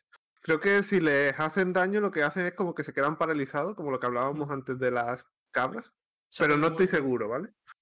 No- sí que ¿Tú te acuerdas. Blas, si se hacen el muerto? ¿no? Mm. ¿Qué, qué son los ajolotes, no? Porque son, Hmm. son, son muy bonitos, pero estos sí existen en la vida real tal cual, ¿no? Sí, sí, sí, sí. De hecho, Aunque son no te defiendan de monstruos marinos, pero algo de verdad hay, Exactamente, pues son un poco más tontines. ¿tú, has, tú has visto que aquí abajo pone Spreading Love? Sí. ¿Lo has visto? Ahí lo has Spreading visto. love. Sí, Spreading sí, love. sí. Que son Sí, sí. cute. Buenísimo, tío. Pues sí, los ajolotes son conocidos, a ver, son conocidos por todo el mundo también. Mm, por una de sus facetas que es que son tiernos y adorables, o son como bonitos así, entonces a la gente les mola mucho. Pero es... Pregunta eh, Sergio si, si pueden morir y, y no lo sé, la verdad. No sé si dijeron si podían morir o, si pueden morir o una vez que se hacían el muerto ya le- le- los dejaban tranquilos y no, no pasaba nada. Mm. Pero bueno, continúa. No sé, Ahí ya no. Ni idea. Ni idea, ni idea. Bueno, los ajolotes son anfibios. Eso supongo que sí que estará controlado. Son parientes, son urodelos, que son anfibios que tienen cola. Son parientes de las salamandras, para que me entendáis, o de los tritones, de alguna manera. Mm. Y son unos bichos súper peculiares, tienen un estilo de vida súper curioso, porque, entre otras muchas cosas, aparte de ser adorables, de ser súper bonitos y, y tal y cual, em, tienen una cosa muy, muy peculiar que en biología se llama neotenia, y es que los ejemplares adultos, o sea, cuando un ajolote llega a adulto, mantiene algunos de los rasgos de, de cuando es juvenil. Entonces, eso, en, eh, eso en, en la inmensa mayoría de los organismos es una locura, porque cuando, el cuando, pasan, cuando un organismo pasa a ser adulto, eh, digamos que pierde todas las cualidades o casi todas las cualidades que tiene como de juvenil. Y más eh, especialmente en los anfibios, por ejemplo. Los anfibios hacen la metamorfosis, que todo el mundo tiene en la cabeza un renacuajo, hace la metamorfosis, digamos que cambia mm, tanto por dentro como por fuera ese organismo y acaba dando lugar a una rana, un sapo, mm, Bueno, comen- lo sé. Nevesu que nosotros también mantenemos muchas características de los de cuando somos jóvenes, ¿no? Dice que Sí, tenemos que cara de sí infante. Sí, algunos tienen cara de funky, por ejemplo. Eso sería neotenia. Eso es. eso es. Todo- o, o cuando ya tiene uno la edad de Roberto o de Vlad, por ejemplo, y siguen jugando al Minecraft. Eso es neotenia. Qué cabrón. Por, por ejemplo. O yo tú, ¿eh? ahora que me ha enganchado el, el cabrito de Roberto que ya me ha metido en este mundo. Mm, Puede ser que yo desarrolle neotenia. mm. Entonces, eso es súper, eso es, a ver, no es que sea súper poco frecuente, pero sí que es infrecuente de alguna manera, que los, que los adultos mantengan características de los, de los eh, juveniles. Por ejemplo, eh, las, las, joder, me sale la galla, no es, son, son las, esto, con leche, con lo que respiran, que no me... Las branquias, gracias, leñe, que no me salía. Las branquias, que son esos, como esos colgajos que le salen del cuello, detrás de la cabeza, esos son branquias, que son los órganos con los que respiran. Entonces, Ah, los tentaculillos esos son branquias. esos tentaculillos en realidad son branquias, que, son, Oh, que es lo que chulo. utilizan para respirar. Eso es, ahí se produce el intercambio de gases en el agua. Eh, Bueno. Entonces, eso es una característica, es un rasgo de un ejemplar juvenil. De, por ejemplo, los renacuajos tienen esas branquias, lo que pasa es que son internas. Pero los, anfibios que son urodelos, los anfibios que tienen cola, las salamandras, los tritones o algunos otros, las larvas, digamos, los ejemplares juveniles, tienen esas branquias y, y son así, las tienen justo detrás de la cabeza y externas. Entonces, ¿qué es lo que pasa? Que cuando el ajolote se hace adulto, no hace la metamorfosis, que eso es una locura en el mundo de los anfibios, es de los pocos que no lo hacen, y mantiene pues, esas branquias externas. De, los ejemplares adultos deberían de tenerlas internas, bueno, no, no de- deberían de, para empezar, de, casi todos, depende también, ¿eh? algunos que hay otras especies que los mantienen, pero casi todos los, los adultos pasan a tener una respiración pulmonar, desarrollan pulmones, o em, tienen de- de respiración cutánea. Muchísimos anfibios respiran por la piel, hacen el intercambio de oxígeno cuando pasan a, a la tierra, digamos, tienen una fase terrestre que respiran literalmente por la piel, o por un epitelio que tienen eh, dentro de la boca, en- como en la garganta. Em, sin embargo, los ajolotes mantienen las branquias. ¿Por qué? Porque siguen siendo, de adultos, siguen siendo em, acuáticos estrictos. Viven debajo del agua. Muchos anfibios, de hecho, la palabra anfibio significa entre dos vidas, literalmente. Anfis es entre dos y bi- bios es vida. Entonces, ¿por qué? Porque tienen una vida en una parte de su vida es dentro del agua y otra parte de su vida es fuera del agua. Por ejemplo, pensad en las ranas. Las ranas, eh, eh, los renacuajos son acuáticos, solo viven debajo del agua, si los sacas fuera se ahogan porque respiran por branquias, pero los adultos están fuera del agua también, aunque entran, salen, entran, salen, pero pasan también gran parte de la vida en fase terrestre. Entonces, eso es una idea de olla, lo de los ajolotes, porque son los adultos se mantienen dentro del agua y si sacas un ajolote fuera se ahoga porque respira por las branquias. Entonces, Oh. es, es algo súper, súper característico de, de esos bichos. Eso para empezar. Entonces, este que está aquí en el cubito lo está pasando regular, ¿no? Aparte de porque está en un cubito. estamos- Eso es, es- Eso me lleva a hablar, sí, de, de, de la. Sí, de. mm, Como la. la- el peluchismo en, en animales. sí, Cuando se, se enseña a muchos animales que son así, super cookies, y en realidad les están pasando canutas, como, yo qué sé, los anuncios. ¿Os habéis dado cuenta que ya no aparecen chimpancés en anuncios de televisión o en pelis o en cosas así? Porque todos los chimpancés que salían disfrazados de personas o, o haciendo cosas de personas, eh, Anda, mira. les han machacado, les han maltratado muchísimo para que... Entonces, si sale un, un chimpancé riéndose, en realidad es un sonido... ¿El qué? Perdón. Que se han suscrito, se han suscrito. Marca Alemán, Twitch y Ah, bueno, gracias Uy. por la suscripción ahí, a tope. ¿Cómo se Tope, llama? Marcalemani. Qué nombre más largo, la leche. Shit. un mensaje subliminal ahí. mensaje subliminal. Sí, Eh, muchas gracias por suscribirte Gracias, con. A tope. Gracias a la gente como Marcal. Sí. em, eh. Gracias, a, a- a- a ellos, a la gente que suscribí, podemos tener hoy aquí a Alberto, que él no tenía Minecraft y le hemos podido traer con su con la nueva cuenta de suscriptores. Así Yo que no sé si muchas gracias. Pero bueno. Bueno, pero yo, sí. yo, yo sí te la doy. Yo sí se la doy. Vale, vale. Aunque tú vengas a sufrir, No pero eso ya es costumbre. Ok.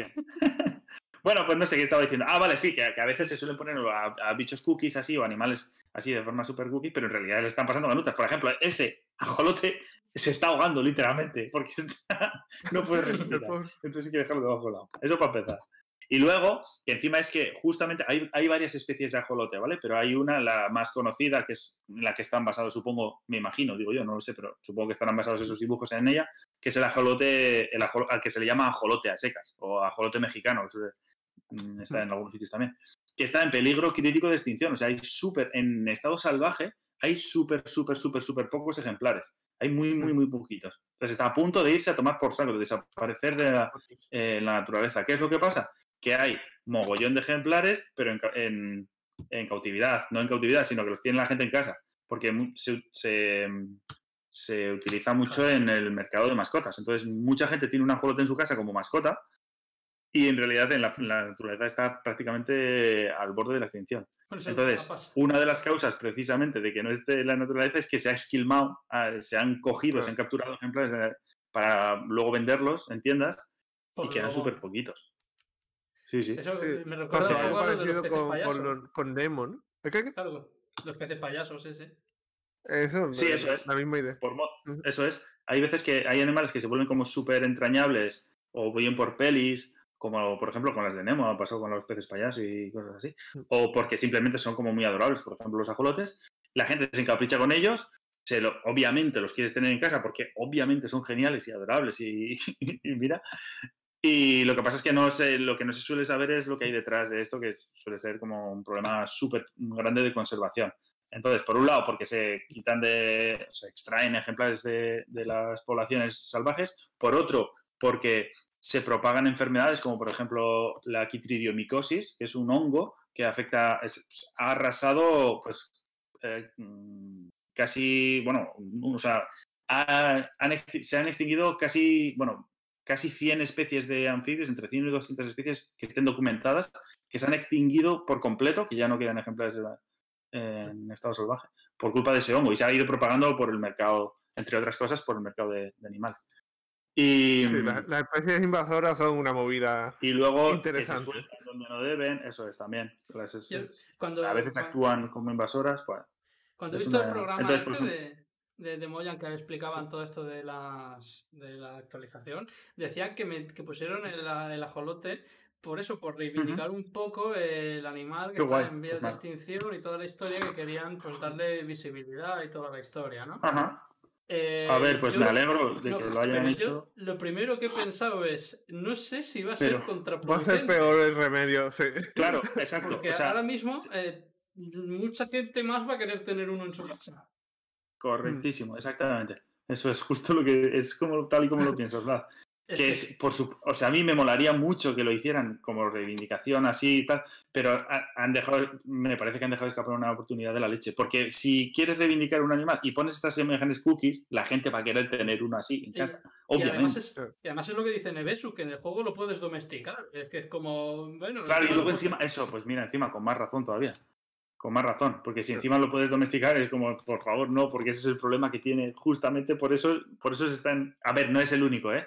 Eh mm. porque se han, se han, arrasado, por ejemplo, el, hábitat en el que viven eh, está súper alterado, eh, yo qué sé, por polución de las aguas en las que viven son bastante delicados, el cambio climático, introducción de especies mm, exóticas, como decía Roberto, pero una de las causas que es justo que la tenga la gente en casa es como, por favor, tío, pues no lo pongas tan adorable, ponlo de alguna manera que la gente diga, joder. Con un mm, depredador o algo, yo qué sé.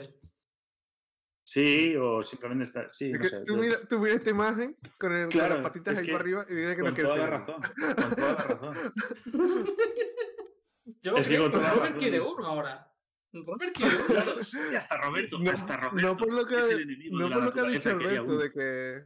Pobrecillo. Es que eh, da pena, ¿no? Si, si tienen problemas, por mucho que sean eh, Precisamente eso me da más pena de capturar uno, ¿no? Porque sería. Claro. Sacarlo de ese hábitat. Lógicamente en el juego voy a tener uno, eso ah, que quítate de sí, la O sea, en los juegos ah. lo que quieras, por supuesto que sí. Pero luego sabiendo que, que, en la vida real esto no es. Igual que. Yo qué sé. Que es lo que pasa en los videojuegos, no hay que explicarlo en la vida real, por favor. en general, para la vida, quiero decir un par de comentarios que creo que son interesantes, aunque ya pasaron un poquito. Custodian comentaba, el antes tampoco hace metamorfosis, ¿no? ¿El qué? ¿El qué? ¿El proteo? El, eh, el, pues creo que no, creo que no. creo que no. Es verdad. O sea, o sea, justo el proteo es como también un animal súper raro. Raro en, to- en todas sus acepciones. Es- biológicamente también es súper curioso porque como es un animal de cuevas, también tiene una cosa, o sea, un- una biología súper peculiar. Entonces sí, probablemente sí. Sí, porque me suena de ver... O sea, la imagen que tengo de, la de los proteos es con, también con las, con las branquias fueras. Y eso son... Eso es un rasgo de juvenil, con lo cual eso es neotenia. Entonces eso sí. Sí. mm. Y comentaron antes, eh, Pangui comentaba lo de jugar siendo adultos y luego eh. Neveso añadió también lo de la orientación del cráneo y llorar, que son también rangos neoténicos, ¿no? Ah, sí, por ejemplo, eso es. Sí, pero es que me hizo gracia, ¿no? Porque lo que dijiste de jugar a Minecraft así como un poco de broma resulta que es verdad, ¿no? Que, No, que pero es cierto, es cierto, es cierto. El juego es... de jugar. Mm, Eso es. Por ejemplo, un ejemplo muy conocido es los, los félidos, los gatos. Los gatos, tanto los domésticos como los salvajes. O sea, Claro, eh, sí, o felinos, pongamos felinos así en general como el grupo más amplio. eh, leones, tigres, lo que quieras. Los adultos juegan porque es un- una perros, forma de... Lo que hacen es cazan animales y no se los comen. Porque es como un entrenamiento que les hace estar como más activos de cara a que luego cuando cacen de verdad están como más entrenados. Eh, Claro. Entonces muchos, quien tenga gato en casa verá que, que los gatos a veces, y sobre todo si otro problema, con que los gatos salgan de casa, cazan, cazan pájaros o cazan lagartijas, los matan y luego no se los comen, los dejan ahí. Simplemente es porque juegan como Mm. mecanismo de, de entrenamiento, digamos. El, el que tengo yo se pega unas fiestas con las moscas. Claro, Sí, por ejemplo. Sí, sí. Mm. Como dice Nevesu, eh, Jojo, bueno, Jojo que todavía es joven, o sea, él no, pero ya cuando crezca seguirá jugando también. Claro. Claro, Y- claro, claro, exacto. Por eso, por eso es tan importante que los, que los gatos no No. salgan de casa y si Mm. salen, como dice Nevesu, atadito Correcto. y, y sí, y, o, o controlado. Y, y preguntaba para Arauco que para qué sirven los ajolotes. En la vida real hemos dicho que mejor no, no tocarlos, aunque sirvan para cosas. Eso. En el juego lo que hacen es te, te defienden en el mar de las criaturas hostiles, de, en este caso de los guardianes de los templos, ¿vale? En el juego. En, en la vida real no te Sí, protegen luego de es nadie. que, em, o sea, la- no, pero en la vida real se- siempre ha sido, por ejemplo, en la zona así de, de México y en, las- en los sitios en los que suele vivir este bicho, se le ha tenido como un animal bastante mitificado. O sea que se, se le han, dentro de, de varias culturas y así, el ajolote es como un animal que se la que es bastante venerado y bastante sí sí sí con con Bueno, es que es peculiar, ¿no? Tú lo Es ves y aparte de que sea mono, es bastante diferente a cualquier otra cosa Claro, que... claro, es que esa es la movida, que es un animal que, que tiene una biología súper curiosa y súper diferente a, a muchos otros animales y que ya de por sí, o sea, y es que tú ves un ajolote, a ver, quiero decir, piensa en, en ver un ajolote hace 3.000 años. Claro. Es como, joder, este, esta criatura que Esto es Dios. estoy aquí, ¿qué es? Claro, es como, joder, chaval, ahí saliendo de Ah, vale, lo de, lo de Balarauco era una referencia al Oxygen, que allí todos los animales tenían que tener un- una Claro. función, claro. Es verdad, te Aquí- estás, te estás volviendo un blando, Roberto. Sí, estás- en Minecraft sí, ¿Dónde está tu Ahora, luego en mi casa tengo una máquina que mata animales a, Claro, por, claro, por decenas, pero bueno. eso, eso ya lo Sí, veremos no, en me, otro no me recuerdes, es- no me recuerdes aquella escena, por favor. Y bueno, ya, ya acabando, ¿no? Porque ya se ya hemos, hemos cumplido a las dos horas, pero ya lo que nos queda son los Sí, otro animalillo, ¿no? Que también está bastante chulo. Los calamares brillantes. Oh, Este ha ganado Oh, por yeah. Esto hicieron una encuesta y, y ganó esto. Eh, había unas vacas con flores, unos enemigos que te lanzaban carambanos de hielo y ganó el eh, calamar brillante. bien, bien, bien. Hombre, aquí Mira, este bien lo votó. La verdad es que yo estoy también a favor del calamar brillante. He visto muchos Sí, vídeos de muchos youtubers de Minecraft que todos, menos Alex el Capo, coincidían en que decían, pero si era el peor de los que dijeron. pero yo Pues coincido en que era el mejor. Eso es porque no se vieron el, el directo que hicimos con Nevesu y con Guido de dos horas de, de calamares y otros Cefalópodos. eh, Cefalópodos. Hombre, qué. Le faltaba, yo creo que le faltaba un poco de iluminación al fondo del mar. Así, quedarían, quedaran súper chulos. Mm. Sí, sí, es una locura. Es una locura. Y eso sí que el- existen, de verdad. Hay calamares y hay otros animales que sí que tienen bioluminiscencia. Que viven. decirte, porque sí- del juego no, No, es sabemos que- nada. Se dijo que lo pondrían, pero no se sabe ni cómo aparecerá, ni para qué servirá, ni nada. O sea que aquí lo interesante es que tiene esto de cierto. Claro. Sí, pues sí que sí. Este concretamente sí que puede ser.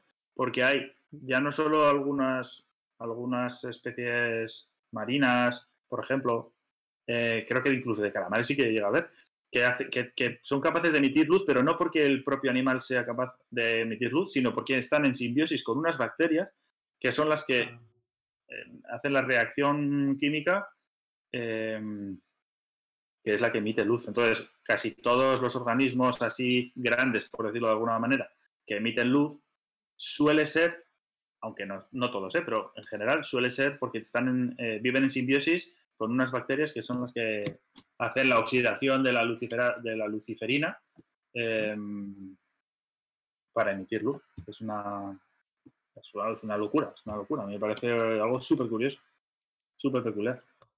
Eh, nos han nos pedido han, que nos nos han hidratemos. cajeado una hidratación que después de claro. dos horas de palique yo creo que nos viene bien. Joder que sí. Tenía Mm. la boca más seca, macho. que- Pues sí, eh, esto es cierto. Vamos, cierto. Es factible. Calamares bioluminiscentes que se encienden en la luz. Bioluminiscente, ¿eh? Sí, Sí, sí. ya hablamos que los calamares tienen como un montón de características súper chulas, ¿no? Que cambian la- el color de la piel, que prácticamente se pueden dar la vuelta, que... O sea que los calamares son, son seres interesantes también. Son la leche, son la leche. Tienen unos. eh, algunos tienen unos de los, de los ojos con mejor visión, digamos, de, de, de todos los invertebrados. O sea, es una locura. Ostras, Es una locura. me estoy acordando, no sé si lo Sí, puse vídeos, en Instagram hace tiempo. No. No, a lo mejor lo intentaré poner, si, si me acuerdo, lo intentaré poner por Twitter o por Discord o en algún sitio lo pondré. Eh, una foto que hice aquí en mi casa hará un par de años, no, un par de años, no. bueno, no me acuerdo, hace, hace ya tiempo, que Ujú. era calamares de comer, los calamares de comer, que los rellenamos luego, eh, que por la noche abrí el frigorífico y creo que estaba la luz fundida del frigorífico y brillaban. os, lo Ah, pondré, os, lo pon- os pondré la foto por ahí por, por, Ajá. o por Discord o lo pondré en mi Twitter. Es que no sé si llegué a publicarla, sé que la hice y no sé no si la publiqué en algún sitio. Os la pasaré. Y son calamares de, de los de comer, o sea, no son calamares raros. Y supongo que sería por eso mismo, ¿no? Por las bacterias brillantes. No, que comen. No, es- eso es otra cosa. La- eso, es, eso es fluorescencia. Eso es otra cosa. Vlad igual puede poner un poco más de luz y fácil, jajaja, eh, sobre este asunto. La diferencia entre fluorescencia y, y A bueno, ver, bioluminiscencia. Fluorescencia es ¿Fosforescencia? cuando. A ver, fluorescencia es cuando tú irradias a una sustancia y esta emite luz por transiciones de estados excitados.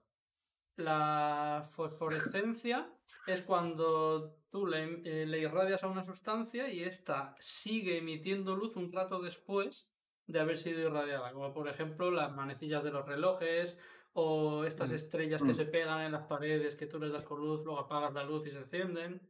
O sea que eh, eso es, fosforescencia y luego está la quimioluminiscencia que es eh, bueno, reacciones que cuando suceden emiten luz. Y Ujú. bueno, de hecho, jaja, el spam, ¿sabes? En, en- en TikTok hace poco he subido un vídeo de, de quimioluminiscencia muy chula.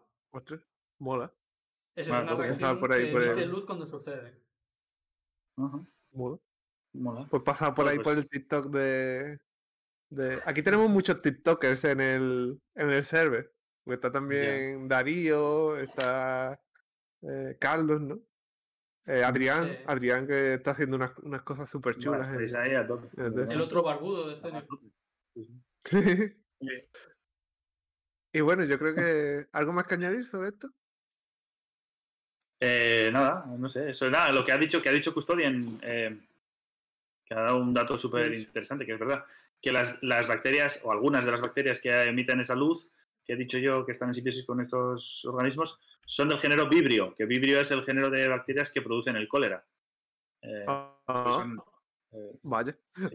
hermana- hermanas de las que producen el cólera. Sí, sí, es una- algo súper curioso. Totalmente.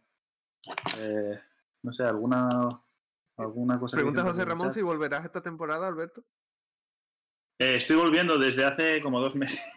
Sí, Doy fe. Sí, en algún momento, lo prometo. A volver. Si creéis que tarda mucho eh, en despedirse, no sabéis lo que tarda en volver. Eso es, eso es, eso es, eso es. Eh, sí, lo estoy preparando. En algún momento me gustaría retomar, pero no podía haber sido como un, un final de verano demasiado intenso. Mm, Uf, no, procrastinador, aventuras procrastinadoras, lo, lo contrario, no sé cuál es la palabra contraria procrastinadoras, sepultadas en curro. Alberto, por- no lo dice mucho, pero trabaja más de lo que parece. Sí. No sé cómo tomarme Claro. ese programa. es Roberto. Se me pone que era algo bueno, pero bueno, ha salido regular. Sí, sí, sí. sí, Bueno, y yo creo que, que con esto ya sí que damos por concluido. Joder, macho, eh, vaya. Nos hemos pegado aquí una rajada. Sí, no, no, también te digo, nos hemos pasado menos de lo que yo creía. Pero eh, era evidente que nos íbamos a pasar. Ya, estaba claro. Así Mira, me que- hace una pregunta Joanes de, de Pipis. Házmela por Twitter o por Instagram o por, o sea, por las redes sociales. Joanes, em, hazme esa pregunta que me parece. Menciona a Estrenio TV y mencióname a mí y así puedo lo puede ver más gente. Pero igual aquí no, Nevesu, no viene mucho a cuento. Nevesu, aventura abarcando más trabajo del que debería. Barbuda Sí. sería. Sí, algo así. Sí. Total. Sí, creo que es- como dice. Angui, haces así y han pasado dos horas. Y ¿Ves? efectivamente Esa es mi frase. Han pasado Esa dos horas. El parpadeas y de repente han pasado dos horas. Eso es, eso es. Eso es lo- se lo decía a todo el mundo, a todos mis invitados en el cambio climático son los padres, ¿eh? totalmente. Totalmente. Pero bueno, Es que y en todos los, los, los de estos, en todos los programas en los que participas, al final pasa un poco parecido. Así que Sí, sí, sí, sí. Como un, no sé, una partícula que, que, que dobla el, el continuo espacio-tiempo, tío. A las Pues nada, que, que Bueno, gracias por haberme que- invitado a esta jamadura. Eh, Al contrario, gracias a ti por, traernos tu sabiduría la- en estos arcana. campos. Mm,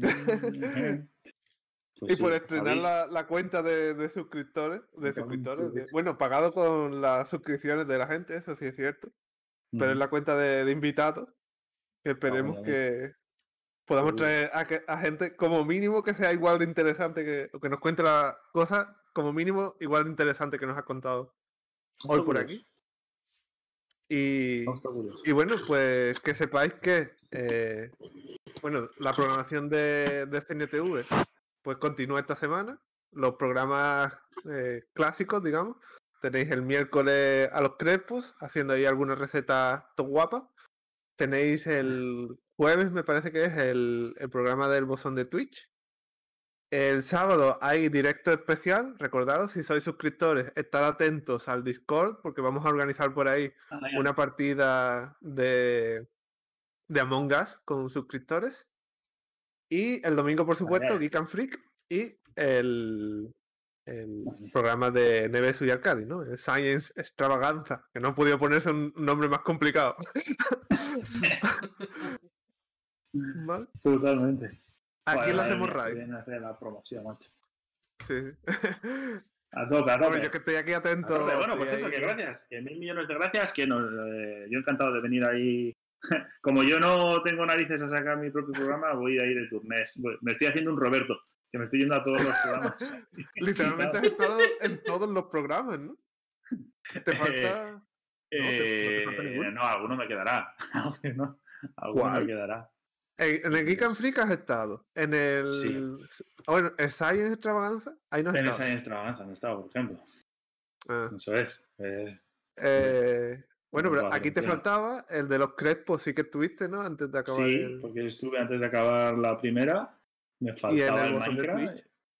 Que yo el que menos probable veía que iba a poder aparecer era el del Minecraft, porque jamás en mi vida me imaginé que yo iba a instalar ese juego en mi ordenador y aquí estamos. Nunca digas nunca. Totalmente. Así que. Sí, a la extravaganza no has venido por razones, claro, sí. Sí, pero bueno, Pero por ejemplo, por- Crespo es tú. Si hay otro especial eh, eh, hetero, yo creo que por ahí podría estar. Pero bueno. Que O cosas con animales, quién sabe. Yo qué sé, vete tú a saber. otro- la RAI, la hiperactina. Yo creo que Eh, venga, va, pues a- así, sí, ah, pues si está Sandra, Sandra, a tope. yo creo que deberíamos hacerle a. Sandra. Ah, a Peter. Está Peter también. Está Peter. ah, Uf, verdad que hoy, bastante. hoy arrancaba, hoy arrancaba Peter. Oh. ¿cuál, cuál es su, Nah, pues a Peter, tío. usuario? A Peter. Hombre, pues, pues no lo sé, pero supongo que el canal de, el, este de Peter. El cubil Yo no de tengo- digo yo. Claro, yo No lo, te- no no tengo en, ¿eh? en esto, no lo tengo. ¿Peter? ¿Se llama Peter solamente? O sea, Peter Ah, el África no, será el, el cubil de Peter, claro. Vale, vale. Tiene sentido. ¿Qué decimos? ¿Qué decimos en la RAI? Eh, Viva los neotenios, Mm. dicen por el chat. ya lo ne- ¿Qué les decimos? O viva los, Eso, los así. ajolotes. O viva los ajolotes ahí o algo, sí. Ajolotes to the power. ¿Qué le decimos entonces? ¿Ajolote tú vivan los, los Que no sé, no, no, neotenios o o sea, que lo, diga, lo tiene que decir el chat. El chat tiene que El chat dice decir. neotenios. Dice pues neotenios. Vivan los neotenios. Pues, pues vivan los neotenios. Pues ahí Pues está. vamos a, a iniciar aquí la, el cubil de Peter, hemos de Peter, ahí. Pues os voy a reventar mientras tanto la pantalla. Esto no, decías que, no, se- que se quedaba Pues grabado. nada. Eh, en unos segundos ya tendréis la RAI. Vivan los neotenios y os esperamos aquí eh, en los próximos programas. Y ¿vale? los mineros también. Vivan los neotenios y los mineros. Claro, Gracias por y traer. el lunes nosotros aquí. No perderse del lunes que viene, que lo vais a flipar, por cierto. Hasta luego. Hasta luego. Gracias, equipo.